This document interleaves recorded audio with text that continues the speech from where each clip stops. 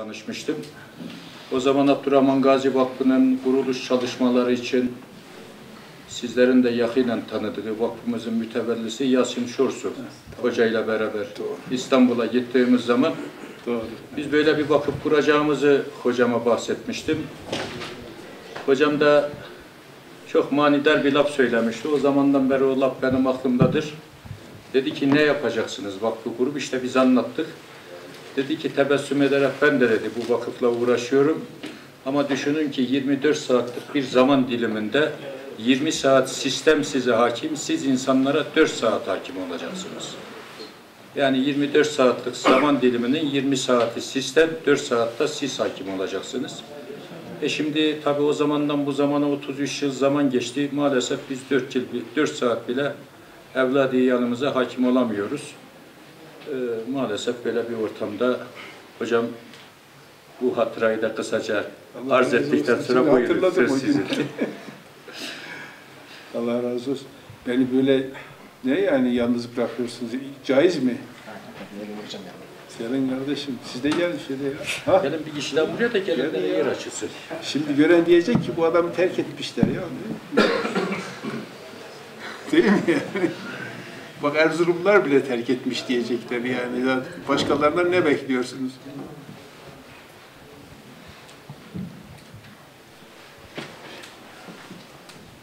Tamam mıyız? Peki. Bismillahirrahmanirrahim. Elhamdülillahi Rabbil alemin. Ve salatu ve selamu ala Resulina Muhammedin ve ala alihi ve sahbihi ecmain. Şimdi belki bazılarınızın zihninde soru işareti olmuş olabilir. Bu bir şeyle başlayalım. Biz yatsı namazımızı kıldık, buraya geldik. Az önce öbür taraftan kıldık, geldik.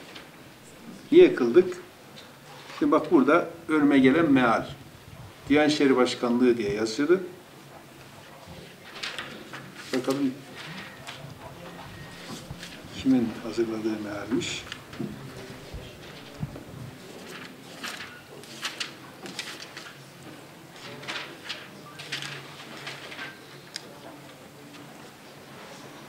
Baş tarafa da yazmamışlar. Nereden bulacaksın?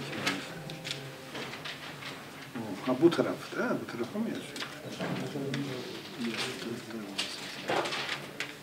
Yazmamışlar kimin yazdığını.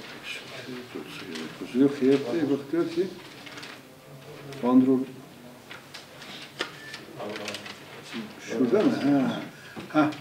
Doktor Halil Altuntaş, Muzaffer Şahin.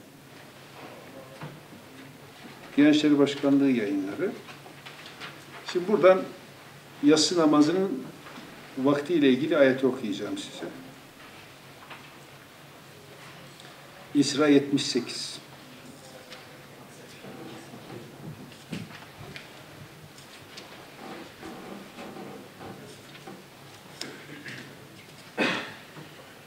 Bak diyor ki güneşin zevalinden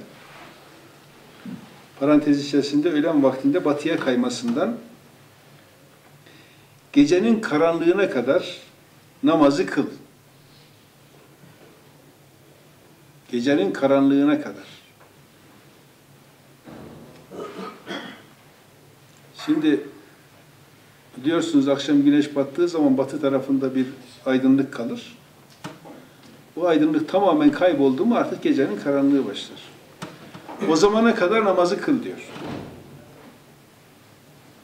Güneşin batıya kaymasından öğlen vakti başlıyor. O zamana kadar kıl diyor. Ondan sonra bir de diyor sabah namazını kıl. Sabah namazına kadar değil, dikkat ediyor musun? O zaman gecenin karanlığı başlayınca namaz başlamış mı olacak, bitmiş mi olacak? Bu ayet ne anlarsınız? Bitmiş yani yatsı namazı bitmiş olacak. Gecenin karanlığına kadar kıl diyor. Dolayısıyla gecenin karanlığı bastırınca, karanlığın bastırılmasını da Resulullah sallallahu aleyhi ve sellem ufukla tayin etmemiş. Gökyüzünde küçük yıldızların görülmeye başlaması diyor. En küçük yıldızlar görülmeye başladığı an yatsının artık gece kararmış olur. O zamana kadar kılınacak yatsı namazı. Ondan sonra gece başlar. Şimdi bak bir başka ayet daha size okuyayım.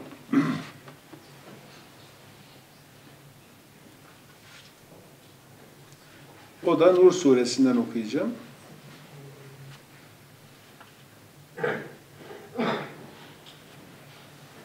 Diyor ki ey iman edenler ellerinizin altında bulunanlar esirler yani ve sizden henüz bülur, bülbülü çağına ermemiş olanlar günde üç defa sabah namazından önce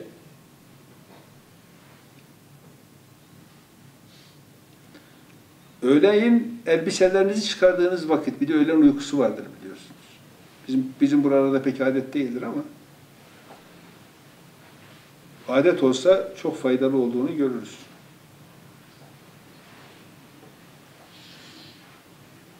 Evet, elbiselerinizi çıkardığınız vakit ve yatsı namazından sonra yanınıza girecekleri zaman sizden izin istesinler. Niye öyle? Bu üç vakit sizin soyunup dökündüğünüz vakitlerdir. Sabah namazdan önce, yatsı namazdan sonra. Peki şu anda uygulanan takvimde sabah namazından önce ve yatsı namazından sonra diye bir vakit var mı? Böyle bir vakit yok. Ve bu bizim elbiselerimizi çıkarıp çıkarıp dinleneceğimiz vakit diyor değil mi?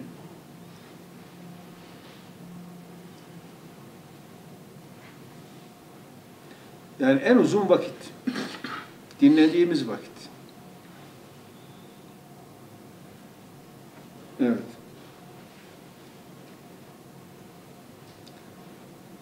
Bu vakitlerin dışında nesline onlara bir günah yoktur diyor, girebilirler. Şimdi bu görüş, ben bu konuda bütün hadisler bu konuyu anlatır. Yatsı namazının son vaktinin bu saate kadar varmasının da bir şeyi var, sebebi var. Bugün İlahiyat Fakültesi'nde okuduğum bir ayet var. Hatta onu da şey yapayım, bak, onu da buradan okuyayım.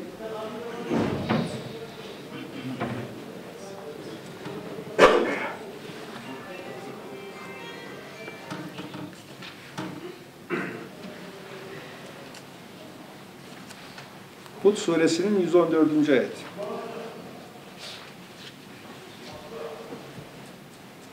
Ey Muhammed! Gündüzün iki tarafında yani gündüzün iki bölümünde ve gecenin gündüze yakın vakitlerinde namaz kıl.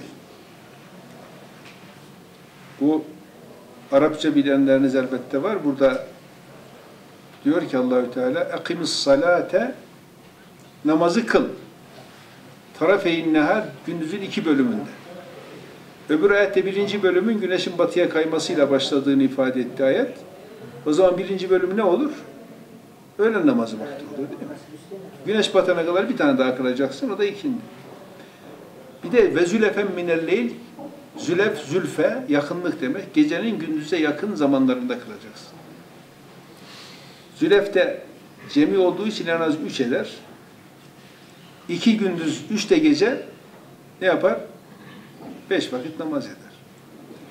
Ama gece kılınan namazlar gündüze yakın vakitlerde kılınması gerekiyor. Şimdi mesela eskiden Erzurum'da şey vardı, bu daşambarlarda jeneratörler vardı. Orada mazotundan çalışan jeneratörlerle elektrik verirlerdi şehre. Gece saat 11'den sonra elektrikler kesilirdi. Zaten gelen de öyle mum ışığından biraz aydınlık bir şey gelir. Bir, bir, bir evde iki üç tane ancak lamba yakabilirdiniz. Hatırlarsınız yani öyle o öyle bir şey vardı. E sokak lambaları falan da işte onun gibi bir şeydi. Bir de köyleri düşünün. Şu anda değil, eski köyleri. Yatsı namazını camide kılıp eve döneceksiniz. Dönebilmeniz için yolda hiç olmazsa yolu görecek kadar yani şeye, çukura düşmeyecek kadar bir aydınlık olması lazım. Gecenin gündüze yakın vakitleri. E sabah namazına giderken de bir aydınlık olması lazım ki gidesiniz. İşte bütün bunlar e, ve Resulullah'tan gelen hadis rivayetlerinin tamamı yatsı vaktinin hava kararınca bittiğini gösterir. Bu konuda tam bir ittifak vardır. Ebu Hanife, yani Hanefi mezhebinden, onun talebeleri Ebu Yusuf İmam Muhammed, Şa- şeyden, Malikilerden İmam Malik ve yakın talebeleri, İmam Şafii ve talebeleri, en yakınları yani, sonradan gelenler değil. Ondan sonra Ahmet bin Hanbel, bütün bunlar bu konuda ittifak halindedir. Yani mezheplerde farklı görüşler oluyor ama yatsı namazının son vakti konusunda hiçbir farklı görüş yoktur. Fakat nasıl olmuşsa olmuş, daha sonra öyle hiçbir delile dayanmadan yatsı namazı sabaha kadar uzatılmış. Şöyle kendinize dikkat edin, günün en zor kılınan namazı yatsı namazıdır. Eğer camiye gitmediyseniz, evde hadi kılarım, hadi kılarım, hadi kılarım, vücut iyice yorulur, artık uyku bastırır, namazı kılarken de yani bir an önce bitsin diye kılarsın. Onda tadını da alamazsın, lezzetini de alamazsın. Evet, onun için biz şimdi yatsımızı kıl, vaktinde kılmak için ve buraya geldik. Onu izah etmiş olmak açısından böyle yaptım. Şimdi biz burada isterseniz bu akşam karşılıklı sohbet yapalım. Yani tek baş, tek taraflı konuşmak iyi olmuyor yani. Hep ben mi konuşacağım? Bir de siz konuşun. Benim soracağım hocam. Tabii elbette buyurun. Ya sağ para şey Ayhan abi almışsın hiç korkma hocam. Yani. Tamam. Topu atarım oraya. Hocam toplumda e, genel anlamda söylüyorum. Ben de idaretçiyim, öğretmenim. E, sizin bir aykırı görüşleriniz var. Benim takdir ettiğim. Fakat toplumda genel anlamda tepki toplayan görüşleriniz var. Tamamına katılabil- katılacağımı söylemek istiyorum. Fakat bunu toplumun tamamına kabul ettirmek, gerçek sahih İslam'ın insanlar tarafından benimsenmesini sağlamak, mevcut olan yerel İslam anlayışını kaldırabilmek için nasıl bir yöntem izlememiz lazım? Öğretmen olmasa bile bu tür şeyler çok sıkça karşımıza geliyor. Toplumun kabullerini söylerseniz İslam'a e, ihanet etmiş oluyorsunuz. İslam'ın kendisi söylediği zaman toplum sizi tasvip etmiyor. Böyle bir ikilemimiz var. Nasıl bir çıkış yolu izlememiz gerekiyor hocam? Çok güzel bir soru sordunuz. Ben buna Kur'an-ı Kerim'den cevap vereyim isterseniz. Şimdi Resulullah sallallahu aleyhi ve sellem Tevrat'ı ve İncil'i tasdik için gelmiş olan bir nebi. Zaten tasdik etmese ona inanma vazifesi olmaz.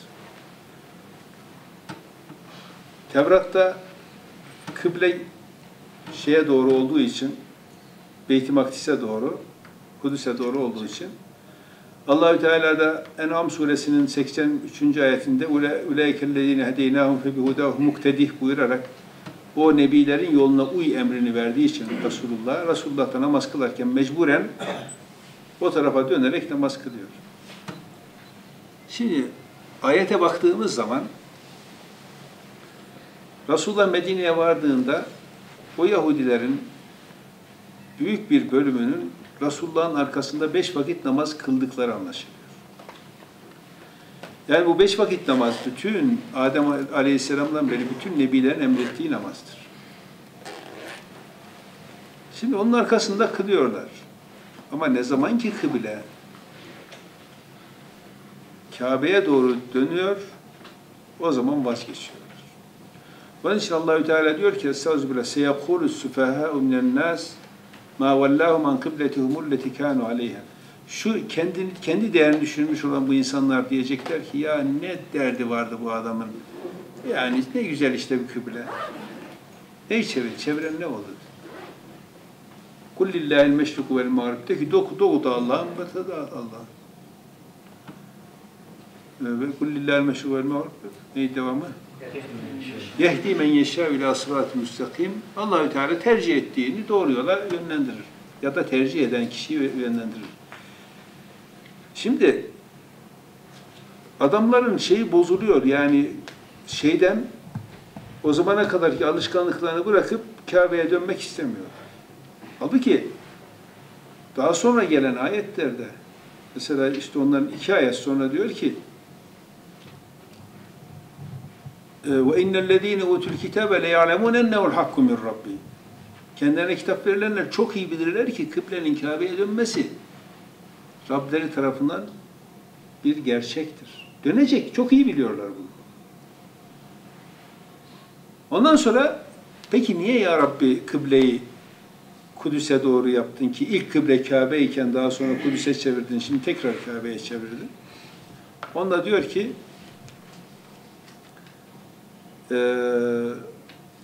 ve ma cealna'l kıbletelleti kunte aleyha illa lin'aleme men yettebi'ur rasule mimmen yenqalibu ala akibeyi. Senin bulunduğun kıbleyi niye kıble yaptık diyor. Yani şu anda Kudüs niye kıble? Kim sana uyacak, kim gerisin geri dönecek onu ortaya çıkaralım diye. Yani Resulullah o tarafa doğru dönerken arkasında namaz kılan Yahudiler kıbleyi onlar da çok iyi biliyor ki bu tarafa dönecek. Bu tarafa dönünce vazgeçiyor. Bu bir imtihan. Şimdi dolayısıyla siz ne yaparsanız yapın. Bizimkiler de aynı. Şimdi Kur'an-ı Kerim işte az önce gösterdim.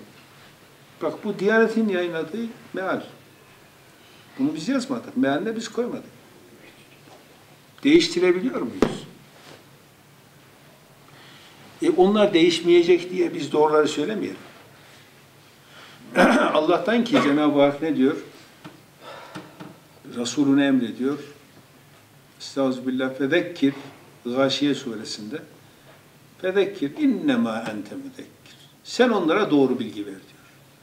Sen sadece doğru bilgi veren birisin. Senin vazifen bu. Leste aleyhim bir musaydır, te tepelerine dikilecek değiliz. Ben de şahsen hep onu örnek alıyorum. Ondan dolayı ben kendi şahsım yani şeyde ben tek başıma kalacağımı baştan biliyordum. Ben bir tek korkum bizim vakfın dış, dış, dış tarafı ahşaptı ulan ne yaparız falan diye düşünüyordum da Allah'a şükür o korktuğum olmadı. Onun dışında şey mesela bu tarikatlara ilk karşı çıktığımızda şeyde Süleymaniye'de bak mesela Erzurum biz Erzurum'da yetişmiş insanlarız. Gerçi son zamanlarda Erzurum'un da şekli şemaili değişti. Eski Erzurum kalmadı maalesef. Ya biz tasavvuf, tarikat falan duyardık. Şeyde Ali Küçük hocam, işte Ahmet Bey'in babası bilirsiniz yani Ali Küçük benim kayınpederim. Bir ara onu zorluyorlar tasavvuf şeyhi ol diye. O da kabul etmiyordu. Epeyce peşine düştüler işte bizim tarikatın şeyhi ol diye birisi. Şeyler. Ben de diyorum ya hocam niye olmuyorsun ya bak bu kadar cemaat var arkasında. Olsana dedi, sen bilmiyorsun sen onları bilmezsin dedi beni dinlemezler dedi. Ya hocam niye dinlemesinler? Ya sen bilmezsin dedi onu. Ben hakikaten bilmiyormuşum ben ne bileyim yani şimdi. Sonra bu meseleler ortaya çıkınca ya ne kadar haklıymış dedim. Hocam kabul etmedi kesinlikle. Çok zorladılar. Kabul etmedi. Şimdi biz tabii bizim tasarrufta, tarikatla, tasavvufla alakamız sadece duymaya bağlı bir şey. Bir kere bir arkadaşımın zoruyla burada bir Adıyaman'ın temsilcisine gitmiştik bir akşam. Ben de hani onu aklıma geldikçe böyle bir acayip oluyordum, rahatsız oluyordum. Yani ama arkadaşı kıramadığım için gitmiştim. Yıllarca o aklıma gelince o rahatsızlığı sürdürdüm. İstanbul'a gittik. Herhalde bunlar bu ona mahsus bir olaydır diye düşündüm tabii. E, orada fetva işleriyle meşgul oluyorsunuz, millet gelip soruyor. E, sorunca araştırıyorsunuz, o vesileyle öğrendik onların ne olduğunu. Yani bunları bir kürsüye getirince, Allah! Ya baktım etrafımda hiç kimse kalmadı. Tek başıma kaldım. Tek başıma, tek. Yani ikinci bir adam yok. Allah Allah bakıyorum. Ya şimdi Kur'an-ı Kerim'e bakıyorum dediklerim doğru. E millete bakıyorum Allah Allah. Ya bu kadar. Hatta bir gün hiç unutmadığım bir olay var. Hanımla beraber bir camiye gittik. O mahfilde namaz kıldı. Ben de aşağıda. Şimdi hangi camiye gitsek uzunca bir süre çıkamıyoruz. Millet etrafımızı sarıp soru soruyor o zamanlar. Şimdi bu defa baktım ki hiç kimse benim yanıma yaklaşmıyor. Hiç bir tek kişi yani. Hiç böyle tokalaşan falan yok. Ama kendi aralarında öbek öbek toplaşıp beni gösterip konuşuyorlar. Şimdi hanım da yukarıdan bakıyormuş aşağıya. Dışarı çıktık dedi ki ya bunların hepsi sapık da sen mi doğru yoldasın dedi. Dedim vallahi ben de şu anda onu düşünüyordum. Şimdi ya bir de şöyle bir şey oldu yine unutamadığım. Hocalardan tanınmış hocalardan bir tanesi bana bu tarikatları anlattı. Sen bilmezsin onlar şöyledir, böyledir, böyle. Bir tuhaf oldum. Ya hocam hakikaten bunlarda var mı bunlarda? Gerçekten bilmiyoruz şimdi o şeyde. Biz bu bölgede hiç öyle bir şey görmemişiz. Ya sonra o beni iyice şaşırtan o hoca o hafta baktım bir tarikatçının dergisinden bana karşı yazı yazmış. Bu ne ya? Yani beni iyice şaşırtıyor. Hocam bu da mı? Bu? Hiç bilmediğim şeyleri söylüyor. O hafta bir tarikatçının dergisinden bana karşı yazı yazmış. E kardeşim şimdi orada vazgeçmek de var, devam etmek de var değil mi?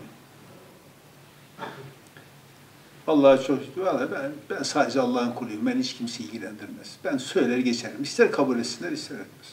Ama söylerim. Bunlar böyle şey yapacak diye susmam. Allah'a şükür susmadık. Devam ettik. ettik. Hatta bir gün o hoca ve etrafında birkaç tane hoca Konya'da bir toplantıdayız. Dedi ki o tarikatçılığa bakış kitabının da artık sonlarına gelmişiz. Bastıracak noktaya gelmiş. Konya'da bana dedi ki bak dedi. Sen dedi çok istikbalin parlak gözüküyor dedi yani. Senden çok şey bekleniyor dedi. Fakat bu adamlar çok güçlüdür dedi. Senin geleceğini karartırlar. Senin, seninle ilgili çok endişe taşıyorum. Hocam dedim, bunlar şirkte değil mi? Bak dedi, şirk, şirkin olmadığı yerde tarikat olmaz dedi. Tarikat varsa şirk vardır. Hocam dedim, peki şirkte mücadele bizim en büyük vazifemiz değil mi? Bilmem kardeşim dedi, ben seni düşünüyorum. Seni kötü duruma sokak hocam. Asıl kötü duruma düşecek olan sensin dedim. Ya bu konuşmaya şahit olan gibi bugün çok meşhur, hep hepinizin adlarını tan, bu dediklerimin hepsinin adını hepiniz tanırsınız. Hocam dedim, asıl ben sizin geleceğinizden endişe ediyorum. Siz dedim, cumartesinin yasa, cumartesi yasağını çiğneyen Yahudilere karşı mücadeleyi bırakan gruba benziyorsunuz. O alçak maymunlar onun emri onlar için de geçerli oldu dedim. Bak siz de öyle olursunuz, karışmam dedim. Şimdi dolayısıyla bu dışarıdan öyle gözüküyor ama işin içerisi o kadar kolay değil. Yani en sevdikleriniz sizi terk ediyor. Bak mesela biz Süleymaniye Vakfı'nı kurduk. 40 küsur arkadaşlar. Geçen hafta bir mecburen yıllık genel kurul falan yapılıyor ya, yaptık. Bir kişi geldi. Bir tek. İkinci hafta tabii şey nisap şey yapmadan gittiler. Bir tek. Şimdi onların içerisinde bize verdikleri zararları bilirsiniz. Binayı üç kere satın aldık, elimizden aldılar. İnanamayacağı, inanamayacağınız metotları kullanıyorlar, yolları kullanıyorlar. Şimdi Dolayısıyla bu mücadeleye girdiysen, bu Cenab-ı Hakk'ın imtihanı ve bunu şikayet için söylemiyorum kimseye ama vaka bu. Siz bu yola girdiyseniz öyle o kadar bedava değil. Ve Cenab-ı Hakk'a sonsuz şükürler olsun. Gerçekten ben gece gündüz Allah'a ne kadar şükretsem azdır. Allahü Teala öyle bir yağdırıyor ki şimdi bizim oraya. Ben yağdırıyor derken maddi olarak değil. Bizim maddi gelirimiz aylık 250 Türk lirasıdır. Sadece bir tane küçük bir odamız var. Oraya kimse tutmuyor. Şöyle işte veriyoruz. Çünkü bir, bir hanın üst katı. Ama giderimiz de 80 bin lirayla 100 bin liranın altında şey düşmez kolay kolay. Sıkıntı çekiyor mu? Sadece Cenab-ı Hak çektirmiyor. Çok şükürler olsun. Şimdi ama yağıyor hakikaten. Bizim vakfın içerisindeki araştırmacı arkadaşlar bile her toplantıya katılamıyorlarsa treni kaçırıyorlar. Yani araştırmacı arkadaşlar hemen her toplantıya katılmak isterler. Çünkü Allahü Teala öyle e, şeyler, ufuklar açıyor ki önümüze. E sen kul olursan vellezine cahadu fîne lenehdiyennehum subulena diyor. Bizim yolumuzda cihad edenleri mutlaka yolumuza yönlendirir ve şu anda çok şükür çok şükürler olsun artık uluslararası çapta bir merkez haline geldi. Birçok ülkede çok etkili vaziyette. Şu anda yurt dışında etkimiz Türkiye'den çok daha fazla. Arkadaşlar şöyle Mesela Çin'de bizim dışımızda hiçbir İslami yayına müsaade etmiyor. Bu aşağı yukarı 11-12 senedir falan böyle. Rusya'nın en üst seviyedeki yöneticilerinde ciddi etkilerimiz var. Avrupa'da öyle. İşte Amerika Amerika'dan bugün gene iki, iki a- şey yaptım. Bugün üçüncü kez söyleyeyim. Yani yaptığımız çalışmalarla acaba bundan sonra işte bir, bir mesele anlatmıştım. Hesapları yapmaya başlamışlar. Hocam dedikleriniz doğru çıkıyor. Acaba bundan sonra beraber çalışma yöntemleri yolumuz olabilir mi diye birkaç maddelik şeylere göre bunlar fizikçiler. Tamam mı? Dolayısıyla şimdi işte bu işlerde bir tercih yapmak zorundayız. Allah'ın emri mi, insanların hoşuna giden mi? Tabii ki Allah'ın emri. Allah'ın emrini tercih ettiğin zaman Cenab-ı Hak seni imtihandan geçiriyor. Onun bedelini son noktasına kadar ödettirir. Ama ödedikten sonra da onun dünya maddi geliri hiçbir şeyle ölçülemez. Yani şimdi Resulullah sallallahu aleyhi ve selleme bakın. Ya Mekke'den hicret etti falan diyoruz. Ne hicreti ya? Hicret eden adam yükünü yükler, komşuları dolaşır, hakkınızı helal edin, siz şey, Medine'ye ayağınız düşerse siz de bekleriz der. Öyle mi yaptı Resulullah? Ters tarafa gitti. E, Me- Medine'nin tam tersine tarafına gitti. Sevr mağarasında hiç kimsenin ihtimal vermeyeceği bir yere çıktı. Saklanmak için. Bugün bile ya oraya kimse çıkmaz dersiniz. Ben herhalde bir kere 20 tane hac yaptığımı biliyorum da umrenin sayısı belli değil. Bir keresine bile çıkmak çıkmaya cesaret edemedim oraya. Bak öyle bir öyle bir yere saklandı üç gün ondan sonra Medine'ye geçti. Bu bir hicret değil, bu bir kaçma. Ama o kaçtığı yere 8 yıl sonra hakim olarak döndü değil mi? Vefat ettiği zaman da Türkiye'nin dört katı bir bölgeye hakimiyet kurmuştu. Onun ümmeti o günün dünyasına hakim oldu. Şimdi onun ümmeti bugünün dünyasına da hakim olmak zorunda ama doğrular anlatırsak. O dolayısıyla mesela dünyanın bütün mallarını kazanabilirsiniz. Ama ilim için, ilim kazanmak için bir parayla ilim alınabilir mi? Bu bir kişi çalışacak, kişilerin yapabileceği bir şeydir ilim. Dolayısıyla Allah'a hamdolsun gerçekten Cenab-ı Hak çok büyük ikramlarda bulunuyor, sonsuz ikramlarda bulunuyor. İşte bugün gene üniversitede anlattım. Svalbard'a gittik. Svalbard dediğimiz o güneşin hiç doğmadığı En son yerleşim bölgesinden uçakla iki saat uçtuk. Tam dik böyle. Eğri, eğrisine değil. iki saat uçtuk uçakla.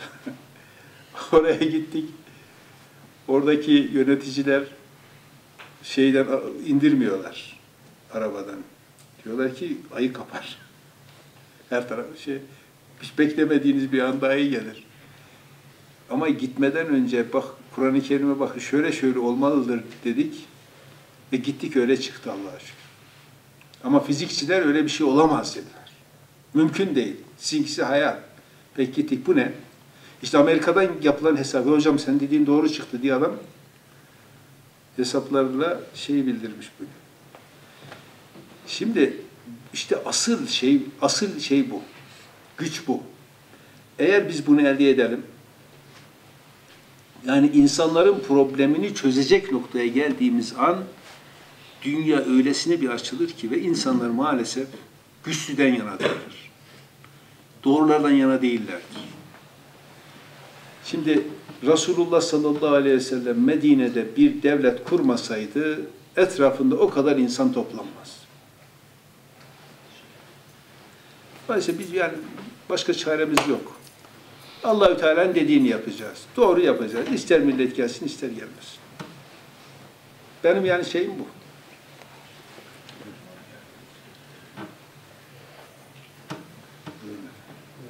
Bir de konuşanlar isimlerini söylerler. Sizin isminiz neydi? Haydar Hoca, evet. İhsan Süreyya Selma hocamın yeğenidir. Siirtli kendisi. Ha, Burada ilahiyetten mezundur ve burada uzun zamandır da öğretmenlik yapıyor Haydar Hoca. iki, iki, üç hafta önce mi beraberdik Hoca'yla? Allah razı olsun. Evet, Öğretmen aldı. evet. Özellikle kevni ayetlerle ilgili ne tür çalışmalarınız var? Ya kevni ayetlerin uzmanlarıyla beraber çalışmaya gayret. Ee, o da kolay olmuyor. Bizde mesela bundan birkaç sene evvel Almanya'da şey yaptık. Bir ekonomiyle ilgili bir toplantı yaptık böyle çok dar bir çerçevede.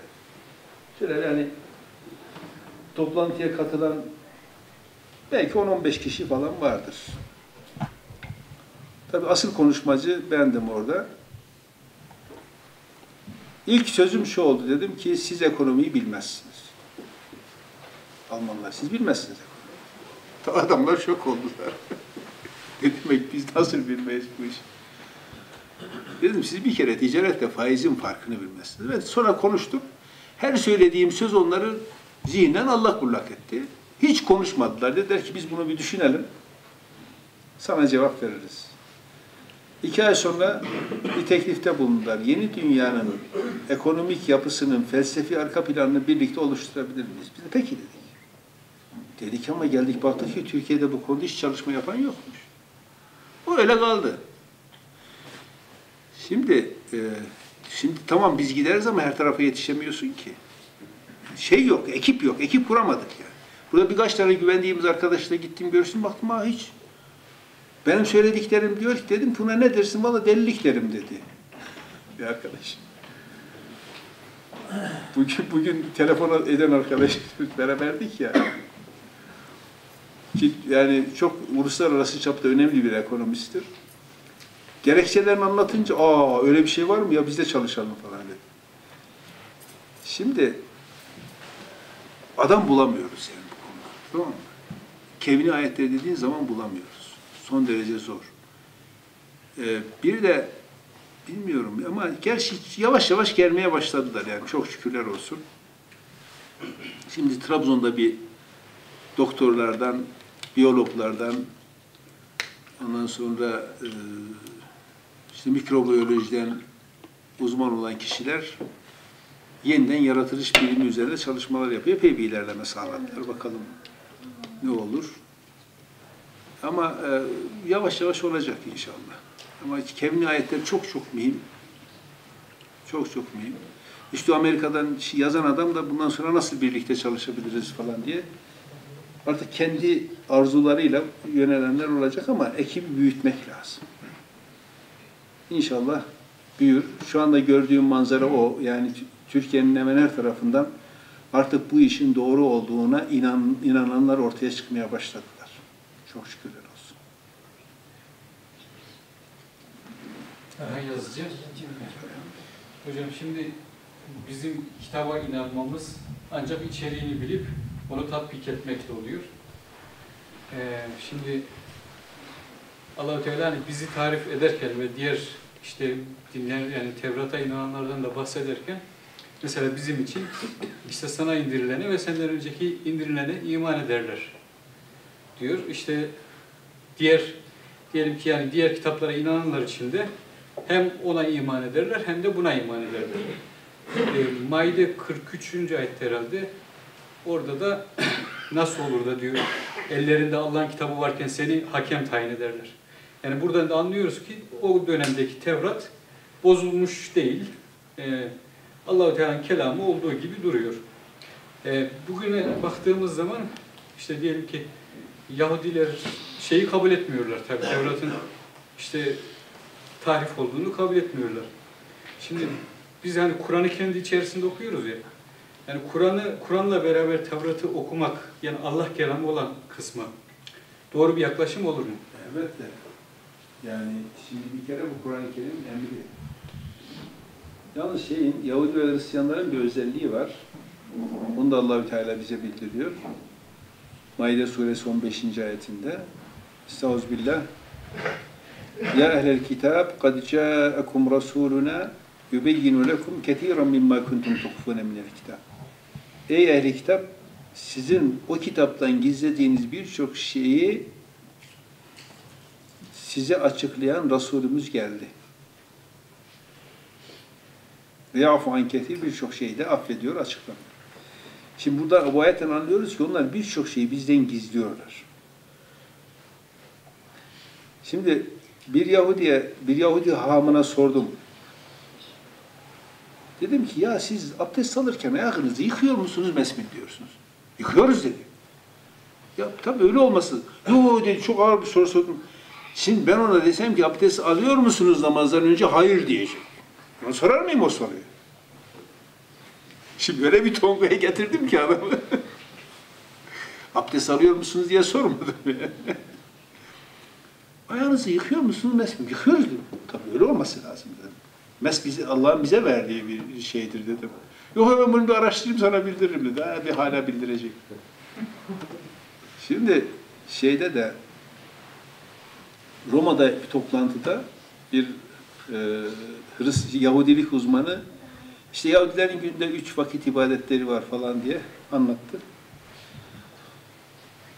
Dedim ya niye üç vakit diyorsun? Beş vakit değil mi bu? Ama aslında yedi vakittir dedim. Ama iki vakit zorunlu değil. İşte teheccüd ve kuşluk namazı. O zorunlu değil. Onu şey yaparlar dedim. Böyle zamanlarda hiç cevap vermezler. Susarlar. Çünkü cevap verseler ikinci kelimenin arkasından geleceğini bildikleri için cevap vermezler. Oradan döndüğüm şeylere, Katolik kilisesinden gelenlere. Ya dedim, bu sizde de var. Siz niye yapmıyorsunuz dedim bu ibadeti, bu günlük ibadeti dedim. Bak bir tek Süryaniler yapıyor, son zamanlarda onlar da dedim, siz peşinize taktığınız Katolikler, Katolikler olarak, onlar da artık eski şeylerini kaybettiler dedim. Hiçbirisi ağzını açmadı. Hiçbir tanesi. Tek kelimeyle cevap yok. Sonra o eski Roma'yı gezmeye git- git- gittiği öyle bir program vardı. Orada doktora yapmış bir kızcağız 30-35 yaşlarında arkadan geldi.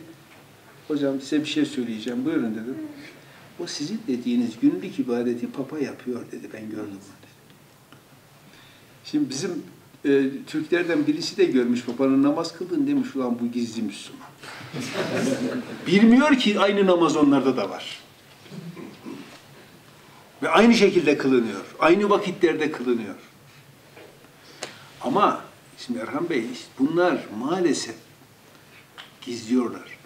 İşte dün e, bir Yahudi gelmişti onu şey yaptım. Epeyce konuştuk. Dedim ki ya söyle bakalım bu niye dedim bu namazı bu namazı dedim niye şey yapıyorsunuz? Şimdi ben Müslüman oldum diyerek gelmişti. Niye dedim kılmıyorlar dedim. Dedi ki vallahi eskiden dedi rükûlü secdeli namaz kılarlardı dedi. Son 20 senedir rükû secdeyi de bıraktılar dedi. Sadece böyle yapıyorlar. Bunların dertleri cemaatlerini korumak. Niye? Çünkü kendi kitaplarında emir var. Sizi tasdik eden yeni nebi geldiği zaman ona inanacaksınız diye. Cemaatlerini korumak için de hep o ortak noktaları gizlemeye başlıyor. Gizme, gizlemeye çalışıyorlar. Şeye, e, Vatikan'a bir teklif sundum. O e, şeyin başkanı, diyalog kurulunun başkanı. Dedi ki siz dedi Kur'an'a uyarsanız siz uyduğunuz sürece sizinle diyalog olmaz dedi. Tabi gitmeden bizimle ilgili istihbaratlar almış.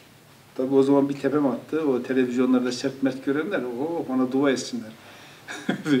Müthiş bir tepem attı. O, o çekimleri kaybettiler. Yani e, kaybetmeselerdi ya yer yerinden oynardı.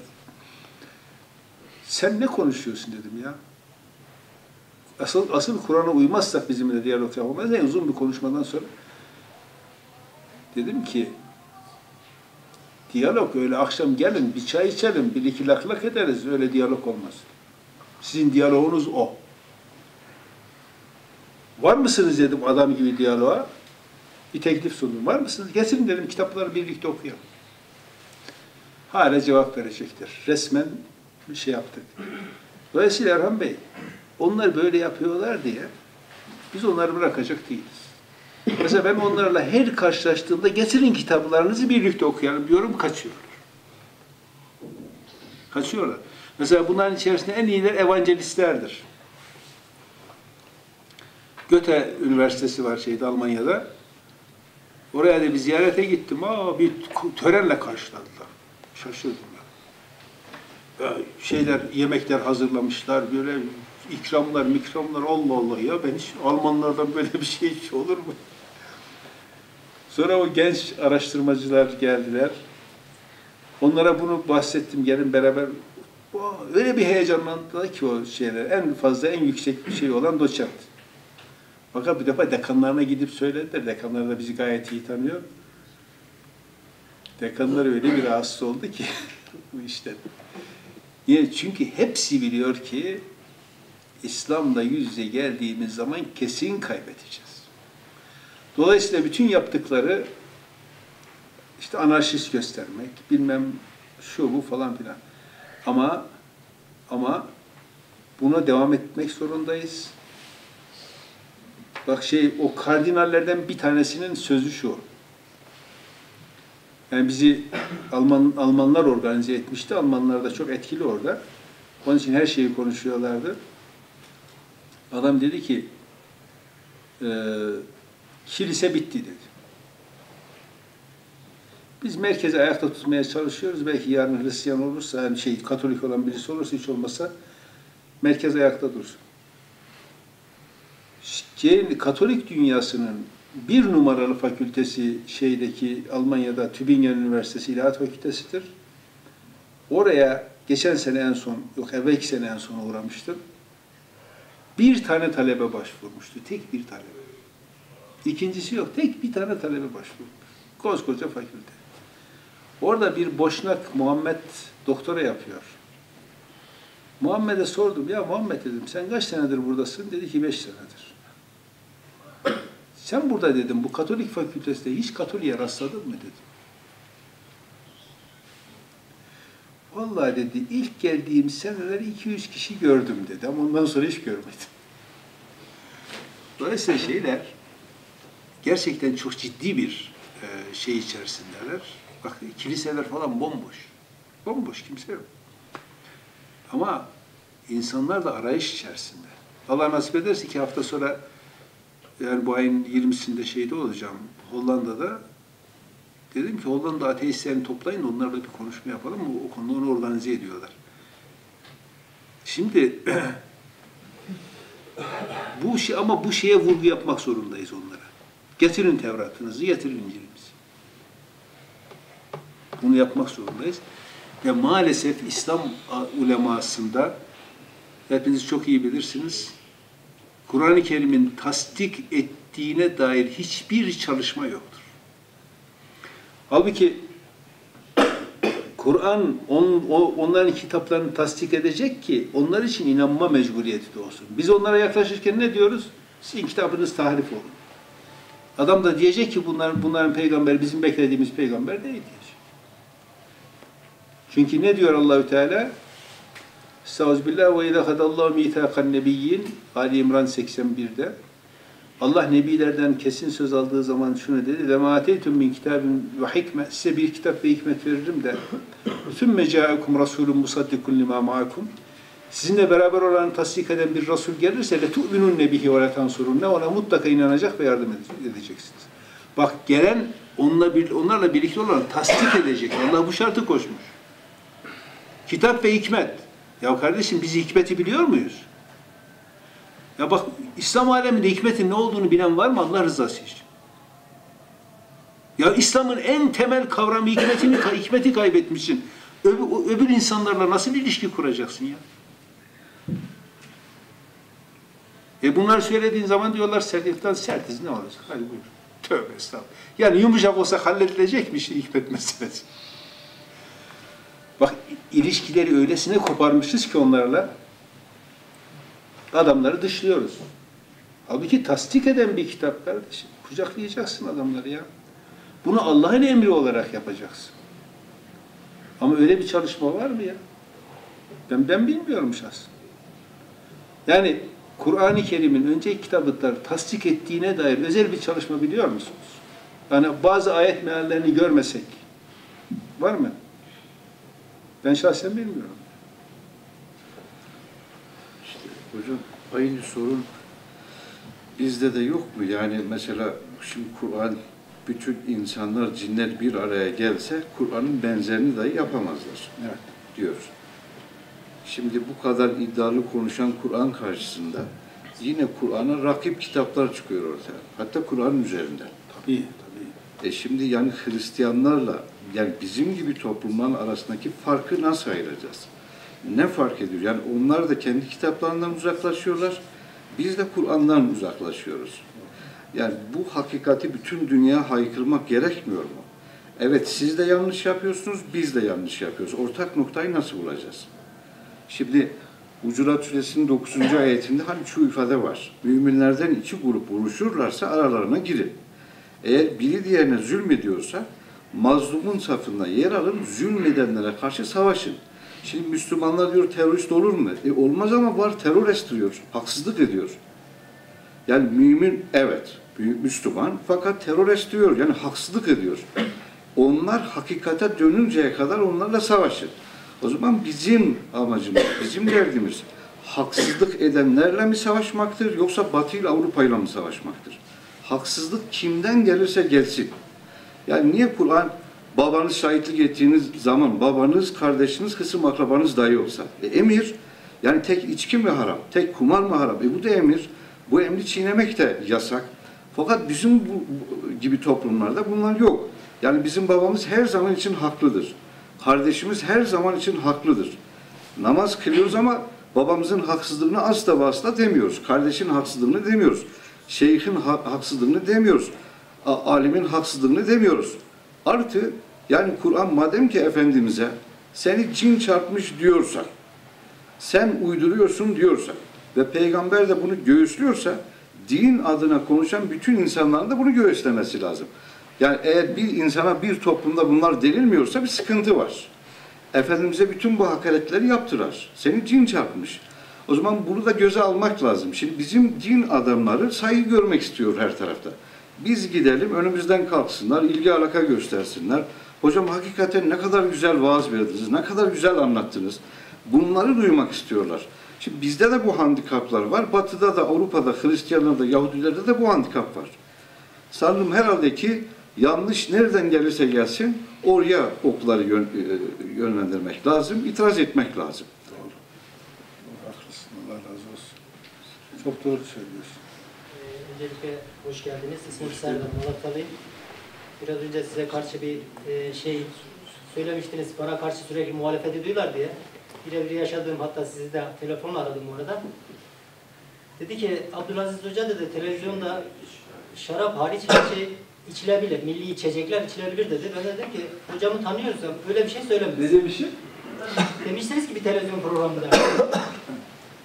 Şarap hariç ya. Şarap hariç demişsiniz. Kur'an'da geçen şarap. Bunun yanında milli içecekler içilebilir. Ben de o arada hemen telefonla sizi aradım. Adam da yanımda. Dedim ki hocama soracağım. Siz de dediniz ki ben öyle bir şey söylemedim. Sonra ben sizden programı öğrendim. İnternetten programı indirdim, oturttum yanıma. Dedim ki Ramazanlık ve ikimiz de orucuz. Bakın dedim, e, hocam söylememiş. Dedi ki bu program değildi. hocam e, bunu anlattıktan sonra Şimdi Kur'an'da bir Allah tasavvuru var, bir peygamber tasavvuru var, kitap tasavvuru var. Ve toplumda da biraz önce kardeşimin dediği gibi e, herkes Kur'an'ı delil getiriyor. Kur'an'ı e, referans göstererek görüşlerini destekliyor. Siz de Kur'an'ı e, referans getiriyorsunuz. Bu savrulma nereden geliyor hocam? Bu Allah tasavvuru niye değişti? Peygamber tasavvuru niye değişti? E, biz okuduğumuz siyer kitaplarında tabiri caizse uçan bir peygamber var e, bir türlü ayağı yere değmiyor, gölgesi yok. Bu peygamber tasavvuru niye bu kadar değişti? Kur'an tasavvuru niye bu kadar değişti? E, en önemlisi Allah tasavvuru göklerin Allah olarak niye kaldı? Niye yeryüzüne inmiyor? E, bu konudaki görüşlerinizi alacağım. Evet şimdi şimdi diyor ki sayıyor Resulullah sallallahu aleyhi ve sellem masum diyor. Diyor ki bak diyor Resulullah masum olduğu halde masum olduğu günah işlemez. Ama diyor Evliyaullah masum olmadığı halde günah işlemez diyor. Şimdi hangisi daha üstün? Şimdi bunu bir kere ortaya koymak gerekiyor. Böyle bir peygamber tasavvuru var. Bu pey- peygamber tasavvuru Kur'an-ı Kerim'de yok. Şimdi bak mesela bakalım bunda ne yapmış? Şu, şu meale bakalım.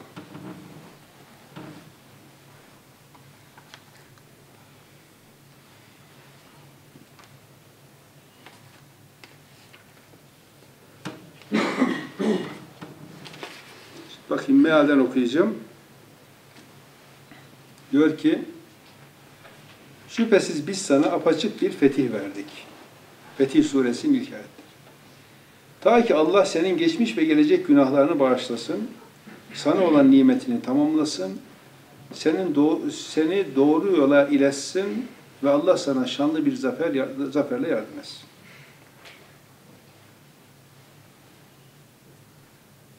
Bakalım bunun dipnotunda ayetteki fetih ile daha sonra gerçekleşecek Mekke fethi kastedilmektedir. Ayrıca surenin inmesinden önce gerçekleşen ve Mekke fethine zemin hazırlamış olan Hudeybiye barışının kastedilmiş olması da mümkündür. Bak burada yazmamış.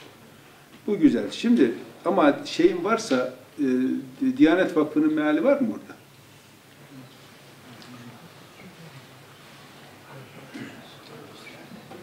Var mı?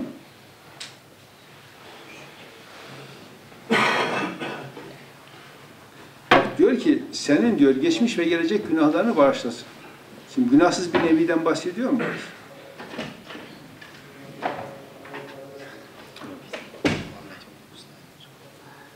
Ondan sonra mesela bundan bir önceki sureye bir bakalım. Bu 48. sure, 47. sureye bakalım.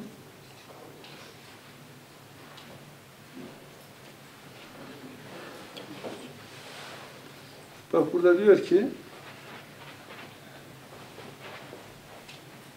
Ee, bakın. فَعَلَمْ اَنَّهُ لَا اِلَٰهَ Bil ki Allah'tan başka ilah yoktur. Ha, ha mealden okuyayım ya, ben niye mana veriyorum bak.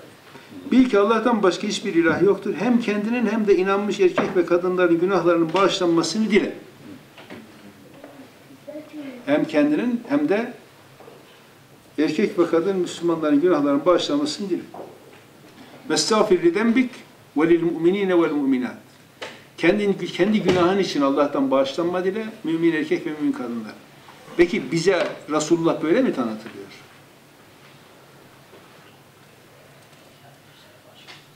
Yani şimdi Bu ayeti kerimeye verilen yanlış meal. Var mı o? Yok değil o. O değil. O değil. Mesela şey e, evinizde varsa bakarsınız görürsünüz. Bu ayeti o Fetih Suresinin ilk ayetlerini yazıyor. Arkasında da bir açıklama yer. Geçmiş ve gelecek günahlardan uzak olan Muhammed diye anlatıyor. Allah'ın hatasını düzeltiyor. Şimdi böyle bir Resul algısı var. Hocam kaç? Muhammed Otur 19. Bu Muhammed 19, şey az önceki Muhammed 19'du. Fetih Suresinin ilk ayetleri. Muhammed 19'a mı? Yok, Fetih Suresinin ilk Diyanet Vakfı mealindeki parantez içerisindeki şey, açıklama. Şimdi hakikaten bütün kavramların içerisi boşaltılmıştır. Resulullah sallallahu aleyhi ve sellem'den sonra, sahabe döneminden sonra boşaltılmıştır. Ve bugün şey yaparsanız, ben mesela size bir örnek vereyim. Kur'an-ı Kerim'de Talak suresi diye bir sure var. Boşanma ile ilgili bütün ayrıntılar orada anlatılır. Bakara suresinde de üç sayfa talaktan, erkeğin karısını boşamasından bahseden ayetler var. Fakat bu mezheplerin hiçbirisi bu ayetlere göre hüküm vermez. Bu konuda sahih hadisler vardır, ona göre de vermez. Öyle bir talak sistemi oluşturmuşlardır ki Kur'an'da ve sünnette yoktur. Kadınların boşama hakkını da elinden almışlardır. Onun yerine de acayip bir ifade, işte bir hul diye aslı aslar olmayan bir şey oluşturmuşlardır. Ama bu tarihi süreç içerisinde yine yapılan ciddi bir müdahaledir. Bunlar artık ortaya çıkarmak mecburiyeti var.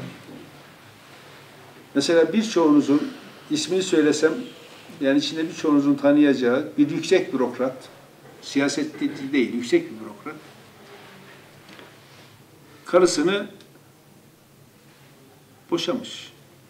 Ben de İstanbul Müftülüğü'ndeyim. Bu adam bir ara İstanbul, Erzurum'da da çalışmıştı. Boşamış, geldi bana. Dinledim. Birçok yere gitmiş, en son bana geldi. Dinledim. Bütün mezhepleri araştırdım, çözüm yok. Çözüm yok. Çıkış yok. Ne kadar kitap varsa en az 2-3 ay çalıştım. Buna bir çıkış yolu bulabilir miyim herhangi bir mezhepten diye. Çözüm yok. Ondan sonra dedim ki vallahi ayrılacaksınız. Başka çaresi yok. Ayrıldılar. Kadın çok e, asil bir ailenin kızı. Mesela siz bilirsiniz. Nakibül eşraflardan yani. Ondan sonra e, erkek de çok iyi bir insan. Ayrıldılar. Kadın bir başkasıyla evlendi, erkek başkasıyla evlendi falan. Çok da zeki çocukları var. Aradan yıllar geçtikten sonra baktım ki kadın geldi ama perişan olmuş. Ve benden maddi yardım istedi. Aslında kadının maddi yardıma falan ihtiyacı yok. Kafa bozulmuş. Dengeyi kaybetmiş. Ben de yardımcı oldum. Erkek de ciddi sıkıntılar içerisine girdi. Çocukları perişan oldu.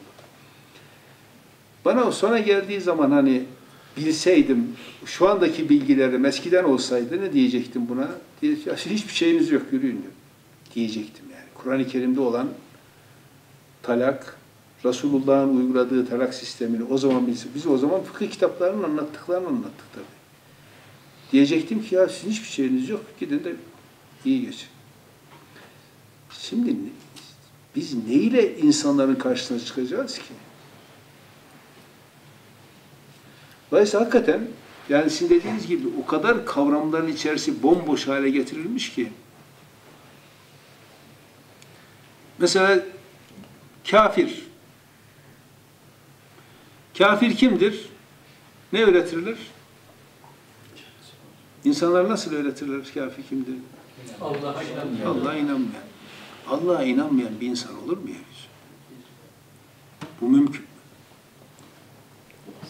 Mekke'de Allah'a inanmayan mı vardı? Kaç tane ayet var bunu anlatan? Estağfurullah. Böyle inşaate ve men halakas semavati vel ardı yekulun Allah. Sorsan gökleri yeri kim yaratmış? Elbette Allah. Senin Rabbin kim Allah? Yağmur yağdıran kim Allah? Pikkiyi bitiren kim Allah? Ayetler var. Dünya kadar ayet var. E ve bu adamlar Kabe'nin etrafında tavaf ederken lebbeyk diye tavaf ediyorlar. Lebbeyk Allahümme lebbeyk. Lebbeyke la şerike lek diyorlar. Ya Rabbi sen yani lebbeyk senin hiçbir ortağın yoktur diyorlardı bu adamlar, bu Mekkeliler. Sonra illa şerikun huvelek temliku ve memelek. İşte bir ortak var o da senindir. Ona malik olan sensin. Çünkü onların bizim put diye tanımladığımız şey Allah'ın kızları dedikleri meleklerdi. Diyorlardı ki bunların aracılığıyla Allah'a gidersek Cenab-ı Hak isteğimizi reddetmez. Peki işte bugün camide okuduğumuz bir ayet vardı. Ali İmran suresinin 106. ayet. Diyor ki Allahü Teala orada يَوْمَ تَبْيَضُّ وُجُوهٌ وَتَسْفَدُّ وُجُوهٌ O gün bazı yüzler ak, bazı yüzler kara olacak. فَاَمَّا الَّذ۪ينَ اسْفَدَّتْ وُجُوهُمْ وَكَفَرْتُمْ بَعْدِ اِيمَانِكُمْ Kafir olanlara denecek ki siz inandıktan sonra kafir mi oldunuz? Demek ki inan, inanmış önce. Meseleyi biliyor. E, inanmadan kafir olunmazı biz biliyor muyduk? Var mı kitaplarımızda? Ama bizim kitabımızda var işte Kur'an-ı Kerim'de var. Yani işte az önce anlattığım gibi ya talak diye bir sure var Kur'an'da. Sen o sureyi nasıl ihmal edersin? Bak şeyde mesela bizim Hanefilerin elinden bırakmadıkları El Hidayesi vardır. El Hidaye e, okuyanlar, oho, okutanlar zaten çok büyük alimlerdir. El Hidaye'nin talak bölümüne gidin bir bakın evinize lütfen bir bakın. Bak varsa ev var var evinizde. Okuyun. Talak bölümünde bir tek ayet yoktur. Bir tane sahih hadis yoktur. Bir hadis üzerine bina etmişlerdir Abdullah bin Ömer hadisi. Hidaye'nin hadislerini tenkit eden Nasbur Ra'ya o hadisi almış, incelemiş, incelemiş. Ondan sonra şöyle en son batilun la yecuzul ihticacu bihi demiş. Bu hadis, bu hadis batıldır, bununla delil getirilemez demiş. Peki bu adam ne zaman demiş bunu? İstanbul'un fethinden iki asır önce demiş. Peki demiş de hala bugün Diyanet'e giden ona göre fetva veriyor ya. Orada bir tek ayeti almış Talak suresinden Ayetin tamamını almamış. Ayetten iki tane kelimeyi çekmiş cımbızla. İki kelimeyi. Ve o iki kelimeye de yanlış mana vermiş. Doğru mana verse olmuyor. Yanlış mana vermiş. O yanlış manayla küçük çocukların, küçük kız çocukların evlenebileceğini, büluğa ermeden eşiyle gerdeğe girebileceğini, böyle birisinin boşanması halinde olacak hükümleri anlatıyor. Ya siz Müslüman olmasanız, yani ana ananız babanız Müslüman olmasaydı, küçük bir kız çocuğunun evleneceğine, büluğa ermeden eşiyle ilişkiye gireceğine fetva veren bir dine inanır mıydınız? Ve bu konuda aksini düşünen bir tane mezhep yoktur.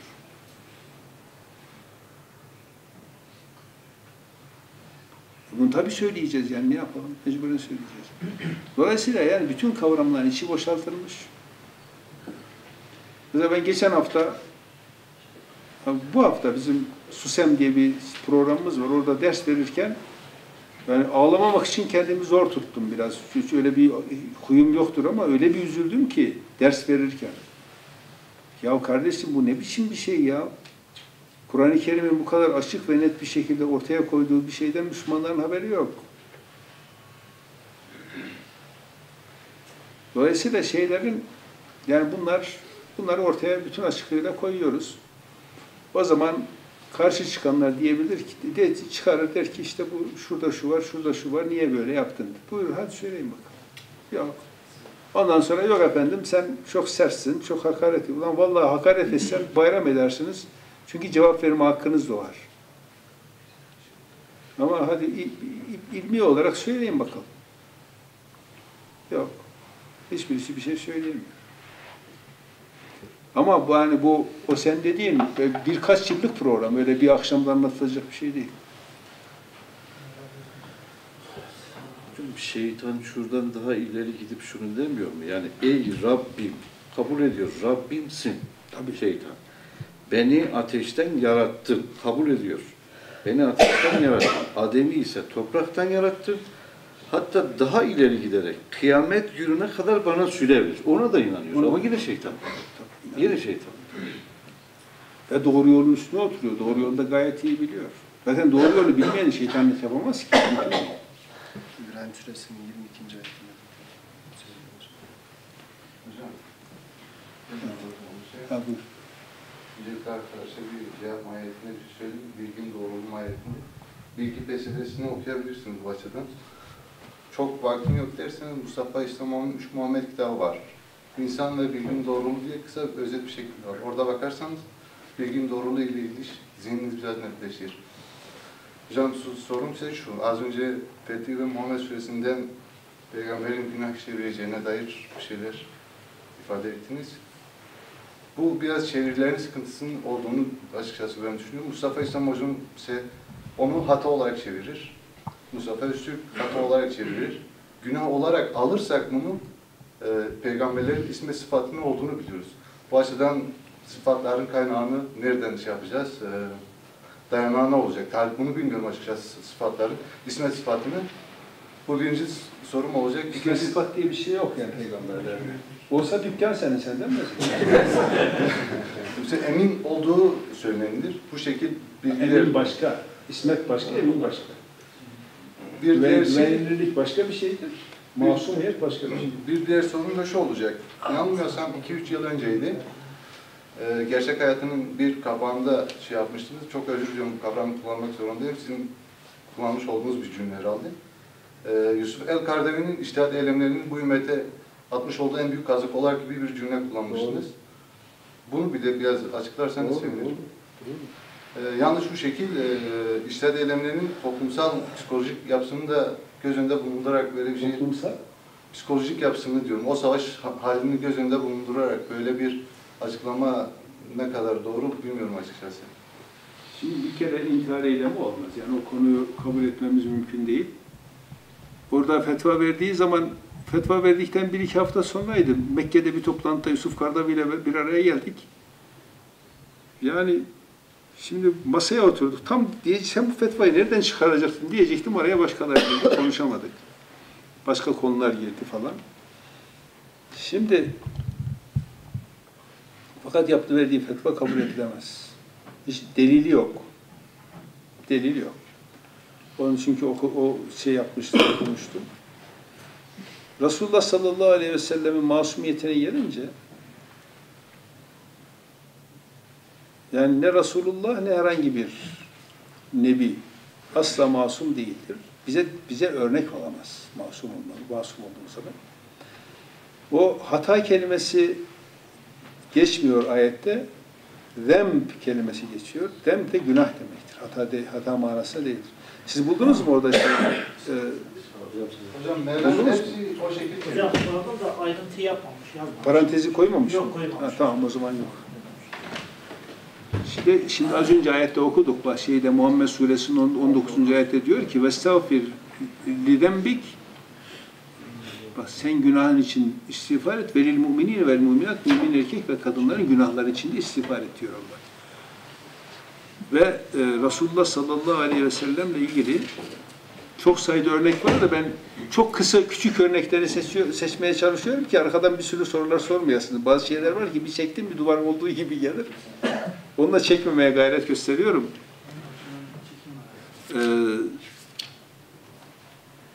Allahü Teala ha tamam kısa bir örnek buldum tamam çok şükür. Zihnimde şeyin e, Zümer suresinin 65. ayetinde Cenab-ı Hak şöyle der.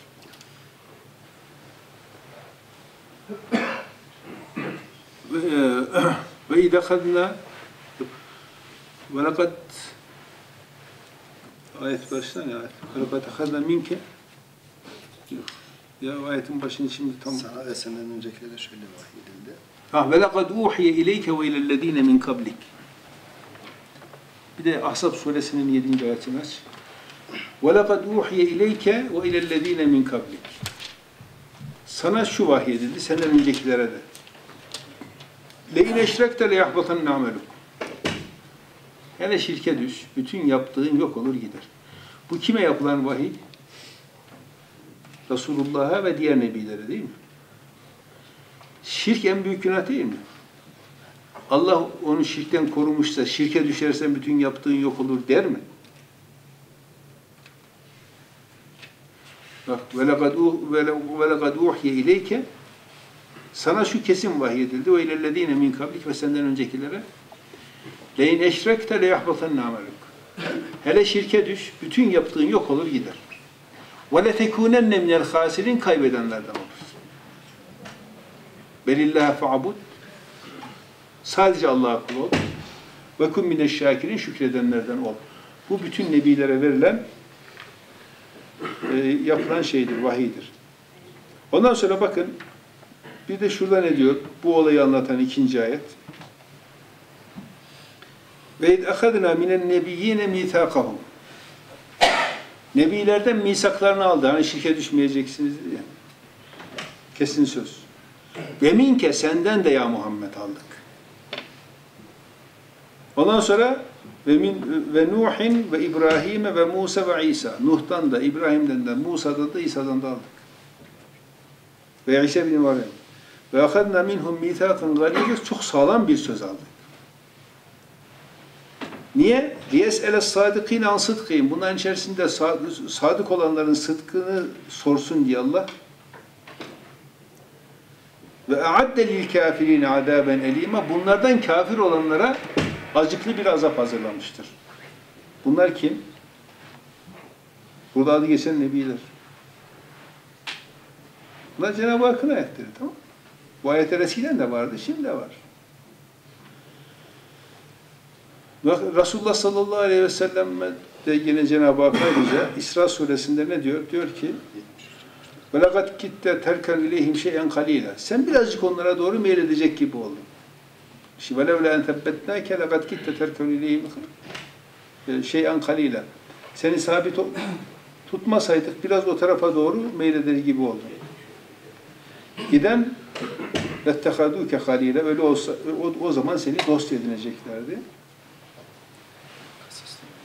Bir dakika dur. Şimdi ayetin ayet şimdi. Ha velev le entebbetneke ha iden le edekneke du'fel hayati ve du'fel memat. Hele diyor onların dediklerine uysaydın sana bu dünyanın da iki kat cezasını ahiretin iki kat cezasını şey yapardık, verirdik. Başkalarına birse sana iki. Masum olan birisi için bu söylenir. Abese suresinde direkt açık bir şekilde bir hata yapılıyor. Allah Azze ve Celle Hazreti Peygamber'i direkt orada uyarıyor.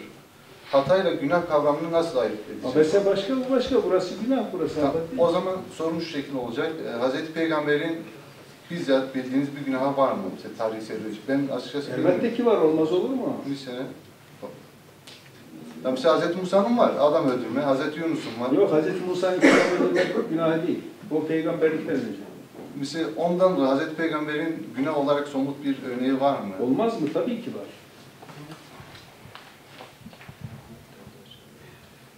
Tabii ki var, olmaz Tamam, onun örneğiymişi, onu şey yapayım da. Ya kardeşim demek ki siz bizi hiç takip etmiyorsunuz ya. Vallahi billahi. Bak. Ya Muhammed suresi de değil. Şimdi bak. Şimdi ben sana şu ayetlerden okuyayım bak. Şurada Enfal suresi var.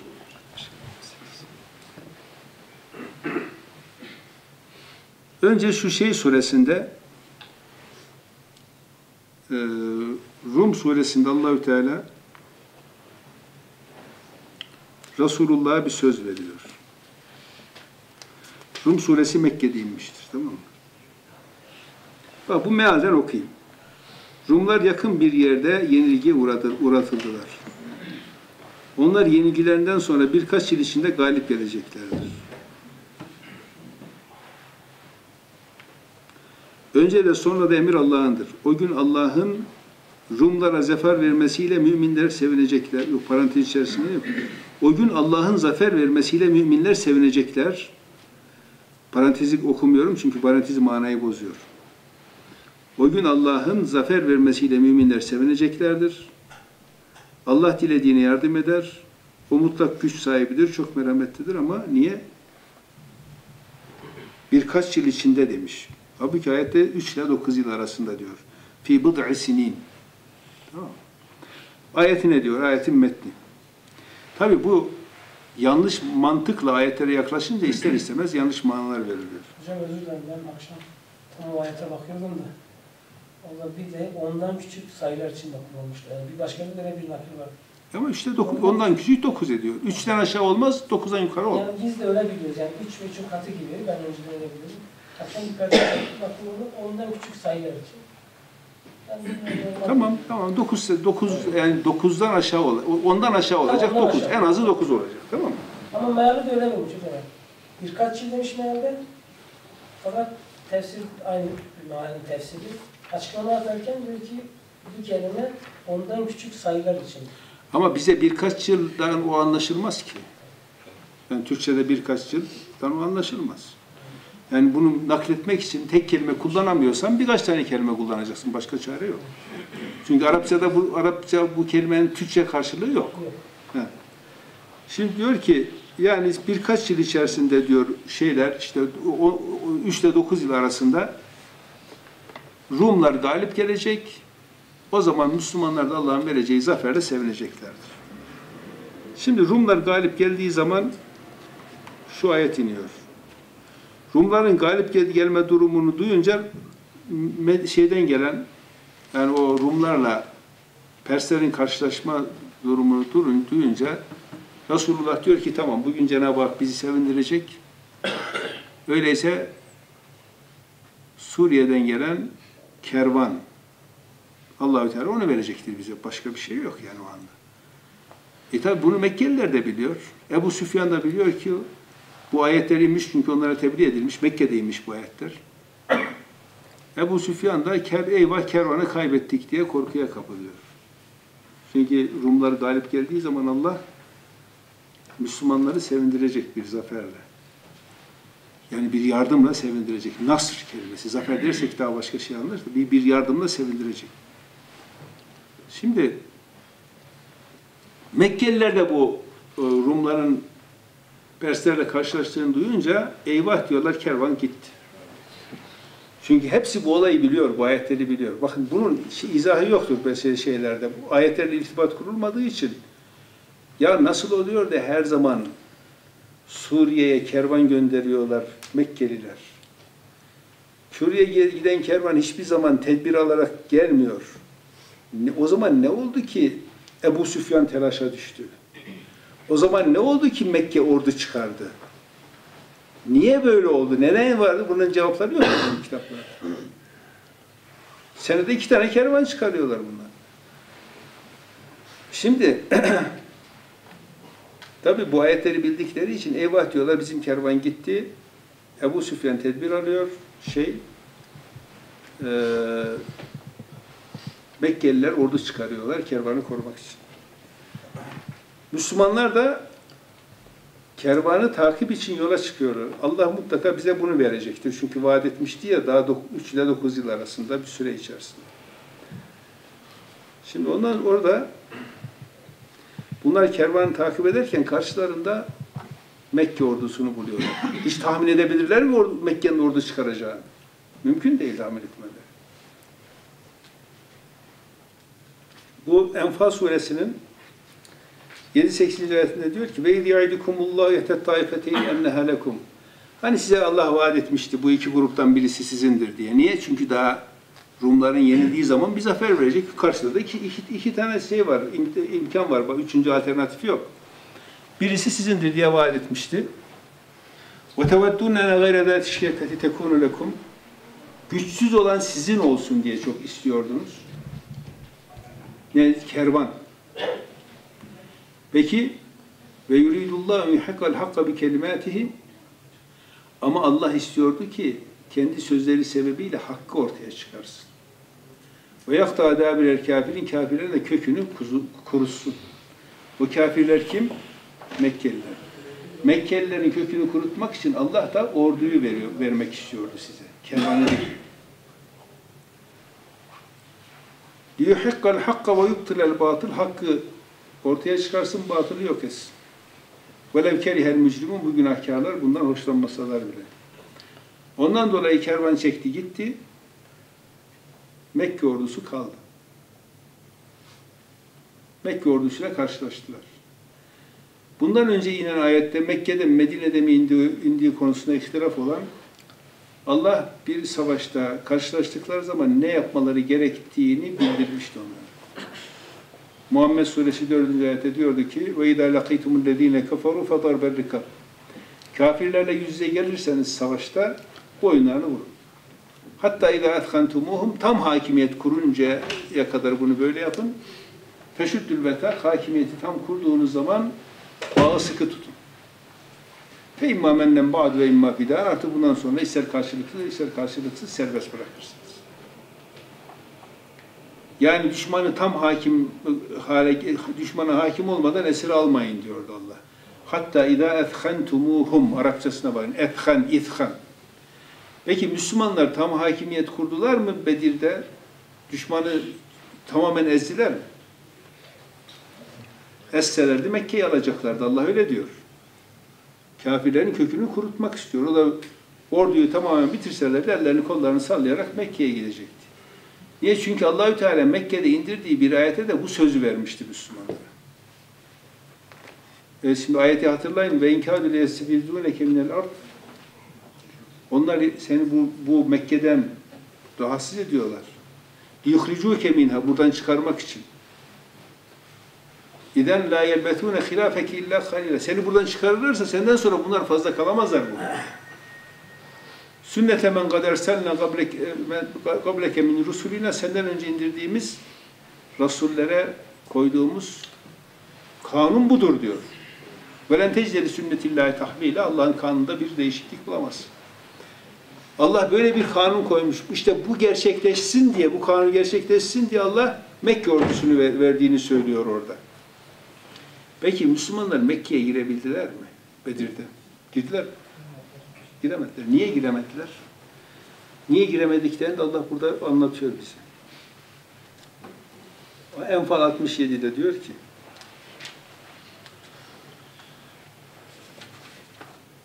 مَا كَانَ نَبِيٍّ اَنْ يَكُونَ لَهُ اَسْرَى hatta يُسْرَى Hiçbir nebinin esir almaya hakkı yok. Düşmanı tamamen ezmeden. Yüzhine.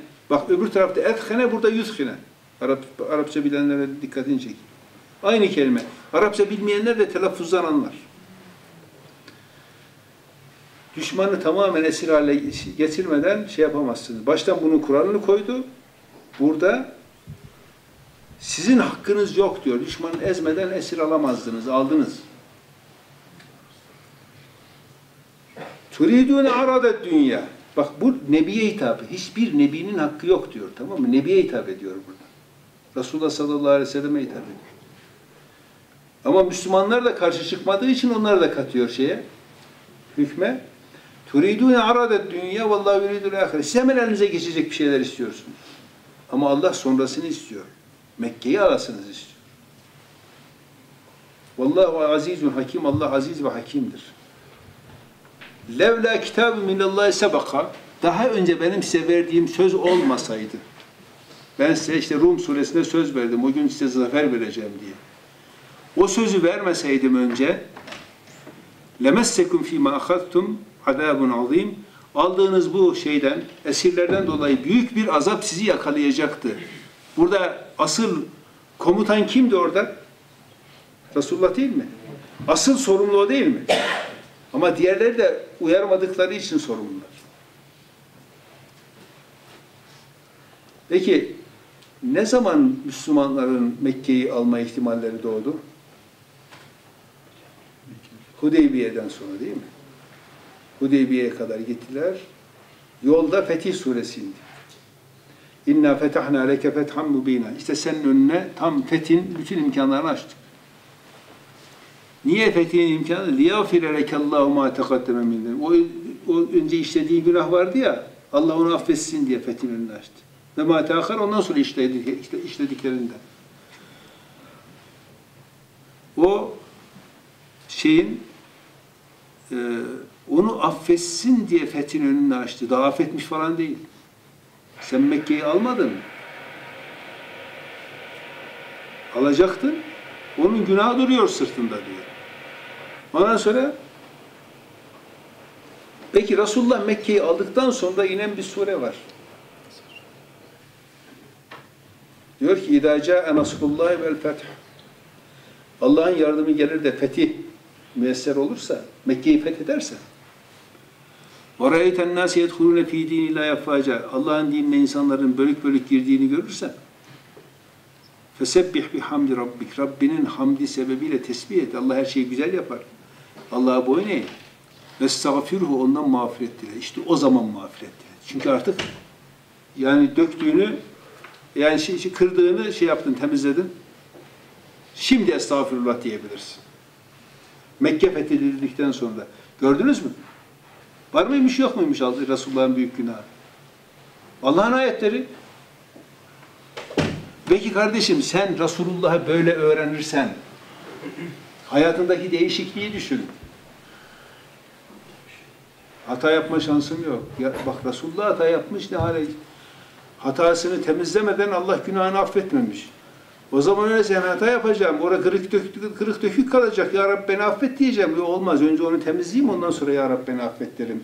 O zaman öyle bir örnek alırsın değil mi? Böyle bir Resul adamı örnek olur. Her zaman. Her yerde örnek olur. E peki bu ayetleri ne yapacağız bu kadar? Hep üstü kapatılmıştır. Hep kapatılmıştır. Hep kapatılmıştır. Resulullah'a değil hocam sahabeye bile erişilmiyor. Yani. Tabi maalesef öyle. Maalesef. İnsan olmaktan çıkarıyor, örnek olmaktan çıkıyor o zaman. İsmet sıfatı uğruna. Hocam eee Tebük'ten kaçan Müslümanların eee, izin istemeye gelen Müslümanlardan dolayı Efendimiz bir izin veriyor. Efallahu an kelimetin telehum. Ya Orada mesela af eee programı geçiyor. Oradaki aftan kasıt nedir? Günah işlemişsin ki yaptığın günahtan dolayı bir af dile Rabbimden. Şimdi e, beşer olan bir Resulü elbette örnek almak adına e, Kur'an'ın bu ruhunu kavramak gerekiyor. Fakat bizim sıkıntımız e, öyle tahmin edeceğim. Yani Müslümanlar olarak Kur'an'ın bu boyutunu konuşmak değil de yani Kur'an'ın bu genel ruhunu topluma nasıl ya- yansıtabileceğiz? Ya şimdi kendi aramızda burada Kur'an'ı konuşabiliriz ama ya toplumla konuştuğumuz zaman bizi tekfir ederler. Evet, fikirlerle yürüdüğü Ama hakikaten bu hocam. Ben şimdi bunu nasıl kabul Ya ettireceğim? kardeşim, desin İlk ya. soru sordun ya hocam ondan. Adam camide vaaz ediyor. Ne diyor biliyor musun? Yani İstanbul'da. Kim ki Abdülaziz Bayındır kafir değil derse o da kafir. Hocam inanır mısın? bunu, bunu kabul edeceksin kardeşim. Geçen hafta hocam namaz kılıyorum. Bacaklarım ağrıyor hocam. Bacaklarım sünnetli namazda. Arkamdan birisi önüme yanıma geldi. Sesli bir şekilde konuşuyor ama herkes duyuyor. Her kim ki diyor. Namazda ayak üstü, ayak ayak üstüne atarsa namazı fasittir. İster Şafii olsun, ister Hanefi olsun, ister Maliki olsun. Ben Şafii'yim. Şimdi ben na- namaz, namazda böyle yaptığımı görüyor. Özellikle mezhepleri ortaya getirdi. Şimdi bu insanlar hocam nasıl bu toplumda düzelteceğiz? Ve ya bu, bu insanın iş, zihniyette bu çok işi, fazla. Bu iş hiç düzelmez. Bu ahirette düzelecek. Mesela Cenab-ı Hakk'a verirken düzelecek. Bak başka şekilde olmaz. Hocam e, şimdi mesela bizim Türkiye'deki alimlere baktığımız zaman yani az önce abimizin sorduğu soru işte Resulullah günah işledi mi işlemedi mi? Yani bu bence çok yersiz tartışmalar. Bunlar tartışmanın bir lüzumu yok. Sonuçta yani Allah kitabına diyor El yevme etmetu lekum dinekum ve etmemtu aleykum ni'meti ve raditu lekum. Ben sizin dininizi kemale erdirdim ve sizden İslam olarak razı oldum diyor. E, son peygamber bu. Yani sizin bunun peygamberliğinde gözünüz mü var? Yok. Bunun tartışmasını yapmayıp, yani dini, dini sulandırmayıp, biz olması gerekeni, işte alimlerimiz tefrikaya düşmeden, kendi aralarında diyalog yapmayı deneseler daha güzel olmaz mı? Yani Resulullah günah işlemiş işlememiş. Ya bu beni, bu bende şey eksilmez yani. Bunu bilip bilmemem. Elimde termometre de yok benim. Ya sen kafirsin, sen müşriksin, sen Müslümansın. E bu da bunu da bizden Allah istemiyor. Bu din tamam kırılmış. Resulullah gönderilmiş ve bizden İslam olarak da razı olunacak. Başka bir alternatif yok bunun. Neden hala kendi aramızda tefrika düşüyoruz? Bizim İslam alimlerimiz biri Şia'dan besleniyor, biri şuradan besleniyor, biri şuradan besleniyor, biri şunu alkışlıyor. Bunlar ne yani? Başka dinler mi var? Başka kitaplar mı var? Ya bizim dinimiz bir, kitabımız bir. Niye tefrika düşüyoruz? Kendi aramızda tefrika düşüyoruz. İşte e, Berlin'e gidiyoruz, Hollanda'ya gidiyoruz, Avustralya'ya gidiyoruz. Onlarla halletmeye çalışıyoruz bu işi. Ya bu iş bence çok e, olmaz yani bu iş. Bunu kendi aramızda, kendi alimlerimize, bir kere biz kendi aramızda tefrika düşüyoruz. Bir sürü bugün televizyona çıkıp, yani bir sürü alimimiz televizyona çıkıp o onu eleştiriyor, o onu eleştiriyor. Bu dini sulandırmaktır, başka bir şey değildir. Bence Allah Teala zaten kitabında söylüyor. Bu din tamamdır, bunun hiçbir eksiği yoktur. Bir sıkıntı arıyorsan Zaten bizim bütün var. derdimiz o tamam da ona uyanlar da tamam mı? Bütün mesele o. Bütün sıkıntı oradan kaynaklanıyor. Hiç olmaz. E, tabii elbette ki bu din mükemmeldir de bu dini acaba Kur'an-ı Kerim'e göre mi yapıyoruz? Bu şu andaki sorguladığımız odur. Yani Kur'an-ı Kerim'e bu dinin mükemmelliğinde şüphesiz şüphe yok. Dikkat ederseniz az önce Resul algısının Kur'an-ı Kerim'de nasıl olduğunu anlatmaya, anlamaya gayret gösterdik. E, bir takım şeylerin yanlış gittiği ortada. E, efendim ulema toplaşsın da aralarında karar versin. Yok böyle bir teklif e, kabul edilebilir bir teklif değildir. Çünkü biz Hristiyan değiliz ki bir konsil toplayalım da bu dine şekil verelim. Dinin şekli şemaili ortadadır. Uyan uyar, uymayan uymaz. Ama bizim hazmedemediğimiz şey şu. Alimlerin cehenneme gitme hürriyetini bir türlü kabul edemiyoruz. Bir türlü kabul edemiyoruz. Bu da illa cennete gidecek. Ya kardeşim yapmayın. Hiç kimse iblisten daha alim olamaz. Ya işin esası bugün işte gene üniversite camisinde okuduğum ayette Allahü Teala diyor ki esas sapık olan kişiler için İbrahim 3. ayet اَلَّذ۪ينَ يَسْتَحِبُّونَ الْحَيَاةَ الدُّنْيَا لِلْآخِرَةِ Dünya hayatını ahiretten daha çok sevmeye çalışanlardır bunlar. Ya dünyayı ahiretten daha çok seviyorsa ben gittiğim zaman bana hocam nasılsınız hürmetler ederim, saygılar sunarım. Duadan esirgemeyin. Hocam elinizi öpeyim, ayağınızı öpeyim falan. Densin istiyorsam ben hiçbir zaman hocalık yapmam. İstiyorsam işte belli mevkilerde olsun, bir yere gittiğim zaman araba, altımda araba olsun, iyi evde oturayım falan. Yani dünya hayatını ahiretten çok seven bir kişinin hocalık yapmaya hakkı yoktur. E kardeşim bu da Allah imtihanı öyle bir noktada yapıyor ki bilgi imtihanı olsa hocalar bir numara kazanır. Diğer vatandaşlar yandı. Ama imtihan bilgi imtihanı değil. Dünyayı ahirete tercih ediyor musun, etmiyor musun imtihan olduğu zaman da kaybetmeyen adam bulmak çok zor. Şimdi sen hayat altında zaman göreceksin. Mevki ve makam için insanların neler yaptıklarını, dünyalık için neler yaptıklarını göreceksin. İmtihan orada. Hocaların da kaybetme hakkı var, şansı var. Ee, şeyde işte Musa Aleyhisselam ne diyor şeyde? Ya Rabbi yalnız bana ve kardeşime sözüm geçer. Kardeşi de Nebi olduğu için. Yoksa onu da diye, demeyecek. Biz de öyle demek zorundayız. Efendim gelsinler birleşelim. Bu boş bir e, şeydir. Ha, Türkiye'de kurdular. Üç tane ulema meclisi kurdular. Geçenlerde bir Diyarbakır'da kurmuşlar. iki tane de İstanbul'da kurdular. E buyursunlar hadi bakalım. Ama hocam bu şekilde de yani herkes e, kendi bildiğini okuyup yani gitse mesela siz farklı işte İslamoğlu farklı şu farklı Bu dünya, farklı. bu dünya böyle kardeşim. Ama hocam peki o zaman niye gidip e, dışarıda bunlarla işte diyalog yapmaya çalışıyorsunuz? Eğer burada yapmayı düşünmüyorsanız Burada ne işin var şu anda? e, sonuçta bu kitap bize hitap ediyor. Bu Yani kitap herkesin canım, bütün insanlar. Ama onlar, Onlar da Allah'ın kulu, başkaları da Allah'ın kulu. Ama hocam onlar zaten ilk başta kabul etmiyorlar yani bu kitabı. Neyi kabul etmiyor? Kur'an-ı Kerim kitabı kabul etmiyorlar. Kendi kitapları bu değil. Onu sen kendin söylüyorsun. Yok hocam kendileri söylüyor yani biz bunu... Ya, ya peki bizimkilerin de kabul etmediğini anlatmaya çalışıyoruz burada. Kabul etmek demek la- lafta Allah'ın Kur'an-ı Kerim Allah'ın kitabıdır demek mi yoksa onun içeriğini üstlenmek mi? Ya da biz burada doğduğumuz için mi kabul ettik yoksa e, Hristiyan toplumu içerisinde olsaydı Kur'an'ı kabul edecek miydik? Bu da var yani. Ya bak şimdi Erhan Bey, mesela Rusya'da, Avrupa'da o kadar çok gayrimüslimlerle yüz yüze geldik. Hepsine Kur'an-ı Kerim anlattım. Bir tek itiraz hatırlamıyorum. Kur'an anlattığınız zaman tek bir itiraz yok. Hiç, hiç. Sadece soru soruyorlar, cevabı Kur'an'dan verdim. O anda o, o olay bitiyor.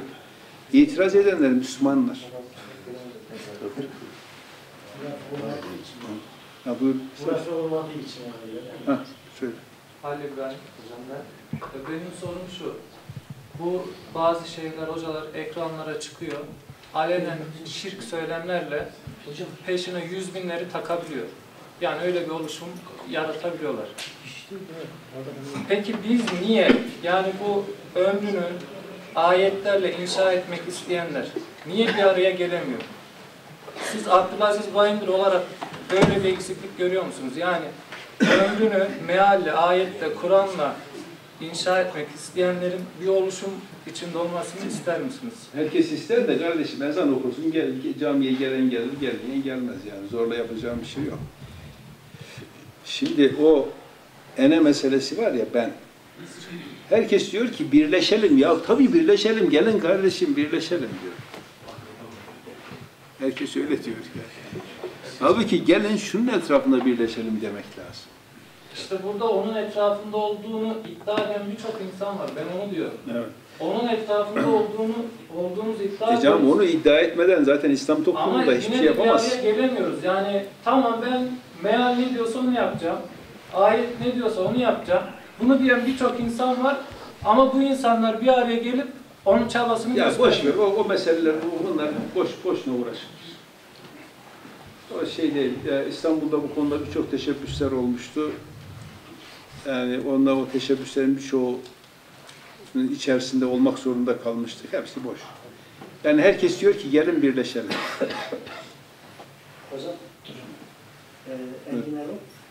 E, az önce çıkan arkadaştan dolayı da yani oradan e, bir çıkan da bunlar daha önceki izlenimlerden ben halktan bir insan dönüm olarak da e, çok fazla ayetlere ve hadislere işi dışı olamadığım için hani e, size cevap niyetinde e, toparlayıp sunabilme imkanı yok ama gözlemlerimi e, aktarmak istiyorum. Şimdi bir e, tartışma usulsüzlüğünün olduğu kesin. Çünkü anlaşamıyoruz. Yani aynı şeyleri söylediğimiz halde anlaşamıyoruz. Yani bir anlaşamama, tartışma usulsüzlüğü, bazı şeyleri kabul edilememe gibi bir durum var. Dediğiniz gibi e, asrımız enaniyet asrı. Çünkü aynen az önce dediğimiz gibi herkes kendini merkez alarak ke- etrafında insanlar toplayıp yani e, gizliden de olsa ilminde belki verdiği bir enaniyetten dolayı e, hani kendini tatmin etme gibi bir durum olabiliyor. Ve ne yazık ki ülkemizdeki e, az önce e, abilerimizin, kardeşlerimizin aktardığı gibi de çok başlılık bayağı bir, özellikle son yıllarda bayağı bir e, arttı. E, şimdi e, herkes kendini halkın içerisinde ispat etmeye çalışıyor. Şimdi halktan da benim gibi çoğu, benim gibi insanlar olduğu için hani e, karşı bir fikir olma veya onu ikna etme yoluna gitme ispatları öne sürüyor-. Şimdi ben e, alimler arasında arkadaşım dediği gibi bir ittifak olması ve işte bir en azından bir görüşülüp bazı şeylerin paylaşılması noktasında şöyle diyeceğim. Mesela e, sahabelerin hayatını okuduğumuz zaman e, hakkaniyete çok önem veren, insanlar, dinimizi birebir Pey- Peygamber Efendimiz'e veren insanlar, hani e, çok iyi bildiği bir hadisi bile gidip birbirlerine danışıp bir karara varabiliyorlar veya aktarabiliyorlar. Tamam güzel de bu sen söylediklerini bu arkadaşlar da söyledi. Farklı olacak bir şey var mı? Şimdi siz bu görüşleri sunarken herhangi bir alimle bir ittifak kurup onunla görüş arası- alışverişinde bulunarak mı bu çıkarımlarda bulundunuz yoksa kendiniz düşünerek mi? Çünkü insan hata düşebilir dediğimiz gibi yani hata düşebiliyor. E tamam Ee, şey orada. böyle o bir ihtimali- çıkar etmiş ben yanlış anladım. O kadar. Başka bir Böyle, şey böyle, bir, olmaz. böyle bir ihtimali düşündünüz mü?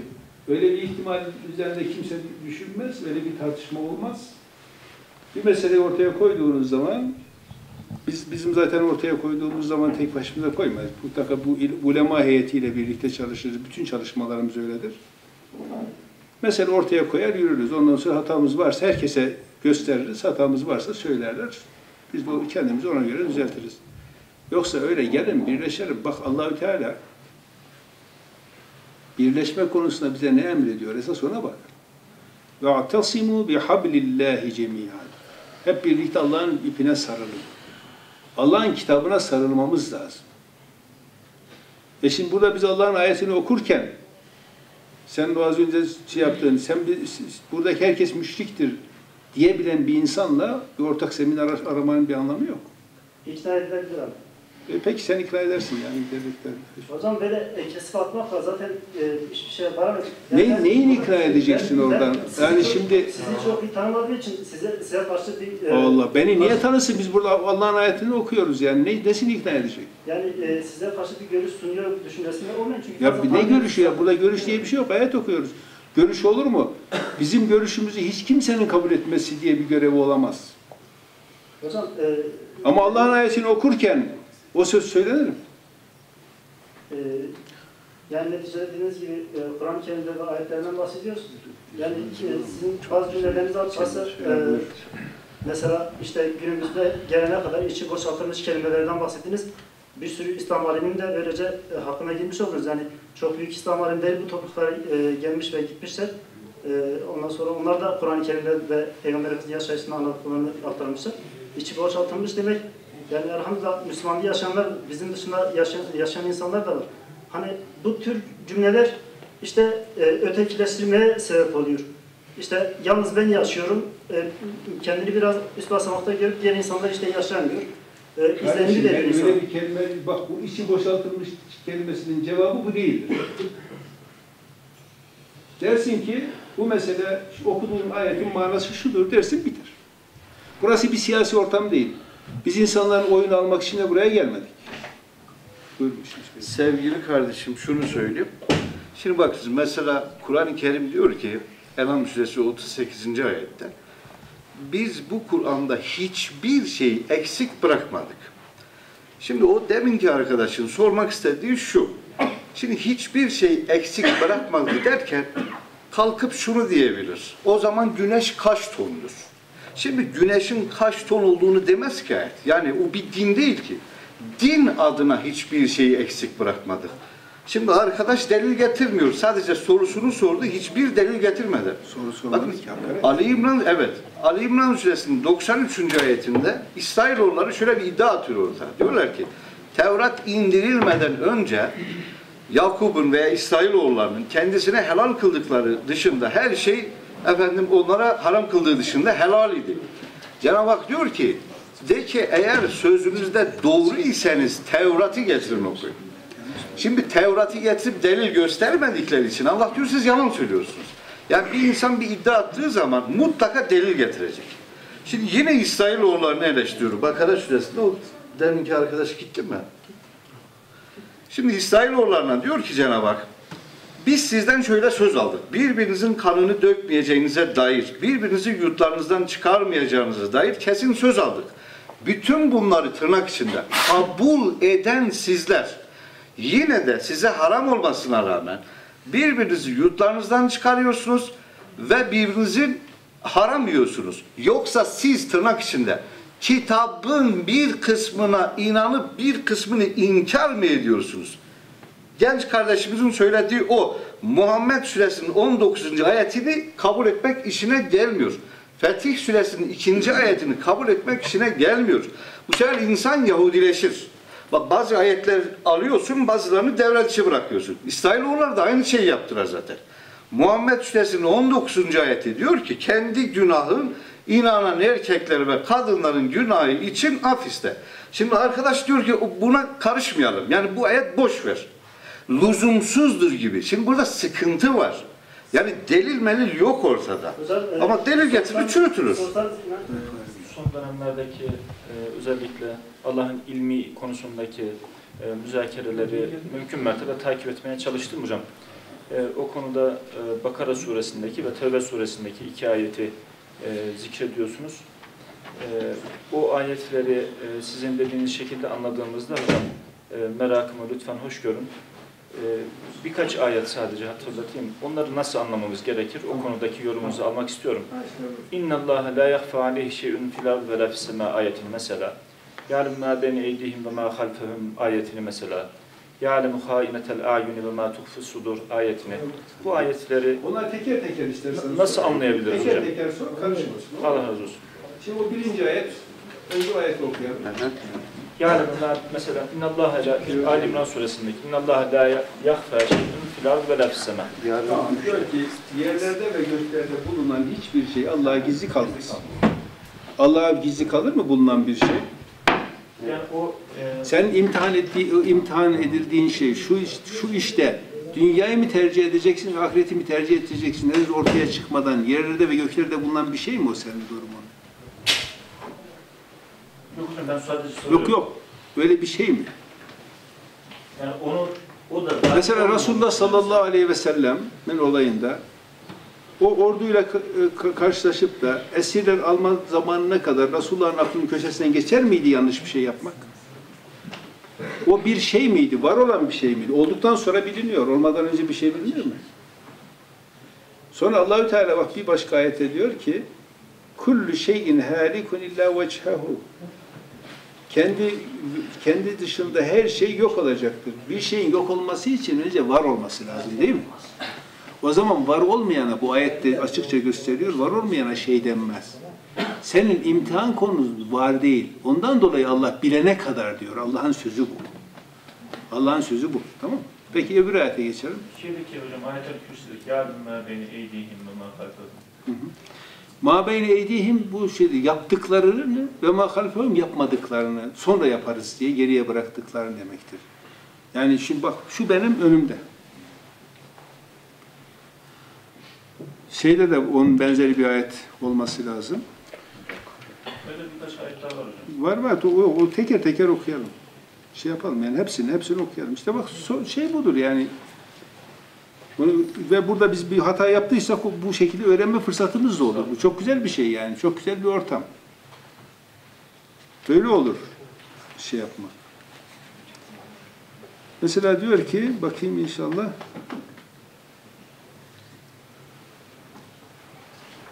Bak alimet nefsün ma kaddemet ve ahharat. Evet.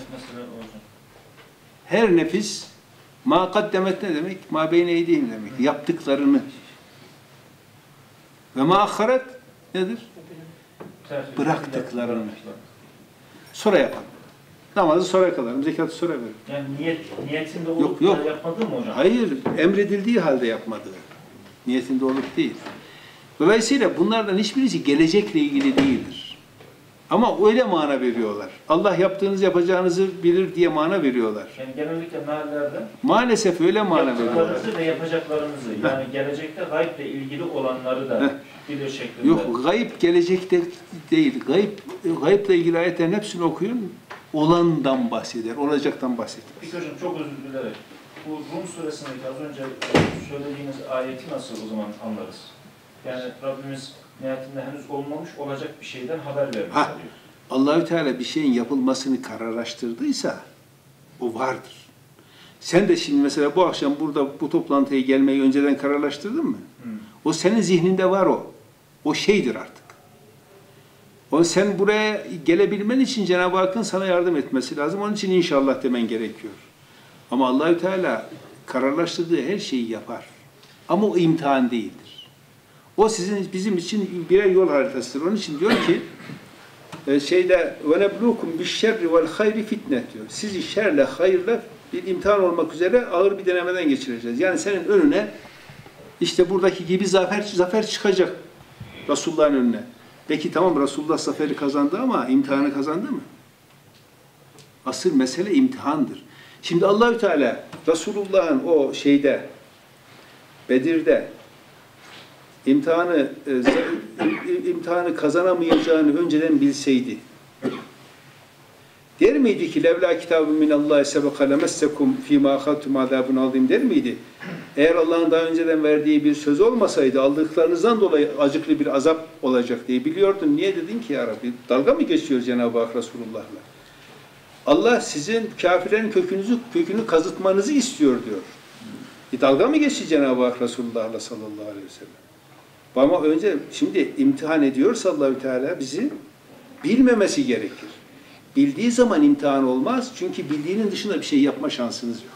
Peki bu konuda şöyle bir yorum hocam. Bunu nasıl değerlendirebiliriz? Yani Allah'ın bilgisi insanın iradesine zorlayıcı bir yönü yoktur. Allah'ın bilgisini biz de bilmediğimiz için hiçbir şekilde biz zaten Allah'ın ne bildiğini bilmediğimizden dolayı bizim imtihanımızı imtihan olma özelliğini engelleyici bir şey değildir Allah'ın bilmesi şeklinde bir yorum. Mümkün olmaz mı? Allah'ın bilgisi değişir. mi? Yok hocam değişmez. Değişmezse sen bilsen ne olur, bilmesen ne olur. Netice belli. Yani Cebriye'nin dışında hiçbir şey çıkmaz ondan. Ve Allahü Teala kendisi çok sayıda ayette diyorsa, liyaleme bilsin diye diyorsa, işte burada işte az önce okuduğumuz ayet. Hocam bir şey. Daha önce söz vermeseydim diyor. Şöyle olacaktı. Çok açık. O zaman Allah kendi kendiyle mi çelişiyor? Buyurun. Hocam Allah-u Teala e, murad ettiği edeceği şeyleri e, ayetlere baktığımız zaman müdahale ediyor. Mesela Musa Aleyhisselam Firavun'a korkarak git, git- gideceği zaman Allah-u Teala diyor ki gitme, şey, korkma, git biz seninle beraberiz. Yani Allah-u Teala e, bir şey murad ediyorsa ona müdahale ediyor. Mesela Rum suresinde de yardım edeceğiz dediği zaman mesela yardım edeceğiz. Allah-u Teala burada müdahale ediyor. Yani bir müdahale şekli var. Bununla ilgili birçok ayetler. Şüphe ama o, o imtihan değil işte. O Allah'ın hayırla ve şerle yani bizim imtihanı kazanıp kazanmamamız değil o. Evet. Ama bizim imtihan edildiğimiz tıpkı imtihan sorusunun önceden hazırlanması gibi bir şey. Ama işte murad ettiğinde de el atıyor. Allah-u Teala yani ona yardım. Yardım eder elbette. Eder. Hatta sana, sana mal verir, imtihan eder. Malı alır, imtihan eder. Bunlar öyle. Ama Allahü Teala'nın burada bilmediği, yani kendi söylüyor bilmediğini. İmtihan sonucudur. Yani siz orada dünyayı mı tercih edeceksiniz, ahireti mi? Allah bizi bilgi imtihanından imtihan edecek olsa hepimizin her şeyini biliyor zaten.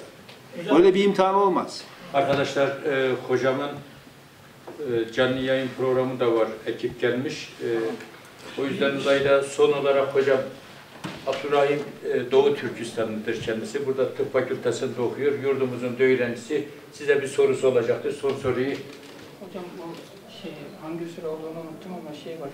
Yani bugün e, yeryüzü başka bir yeryüzü, semavatta başka bir semavat olacak anlamında.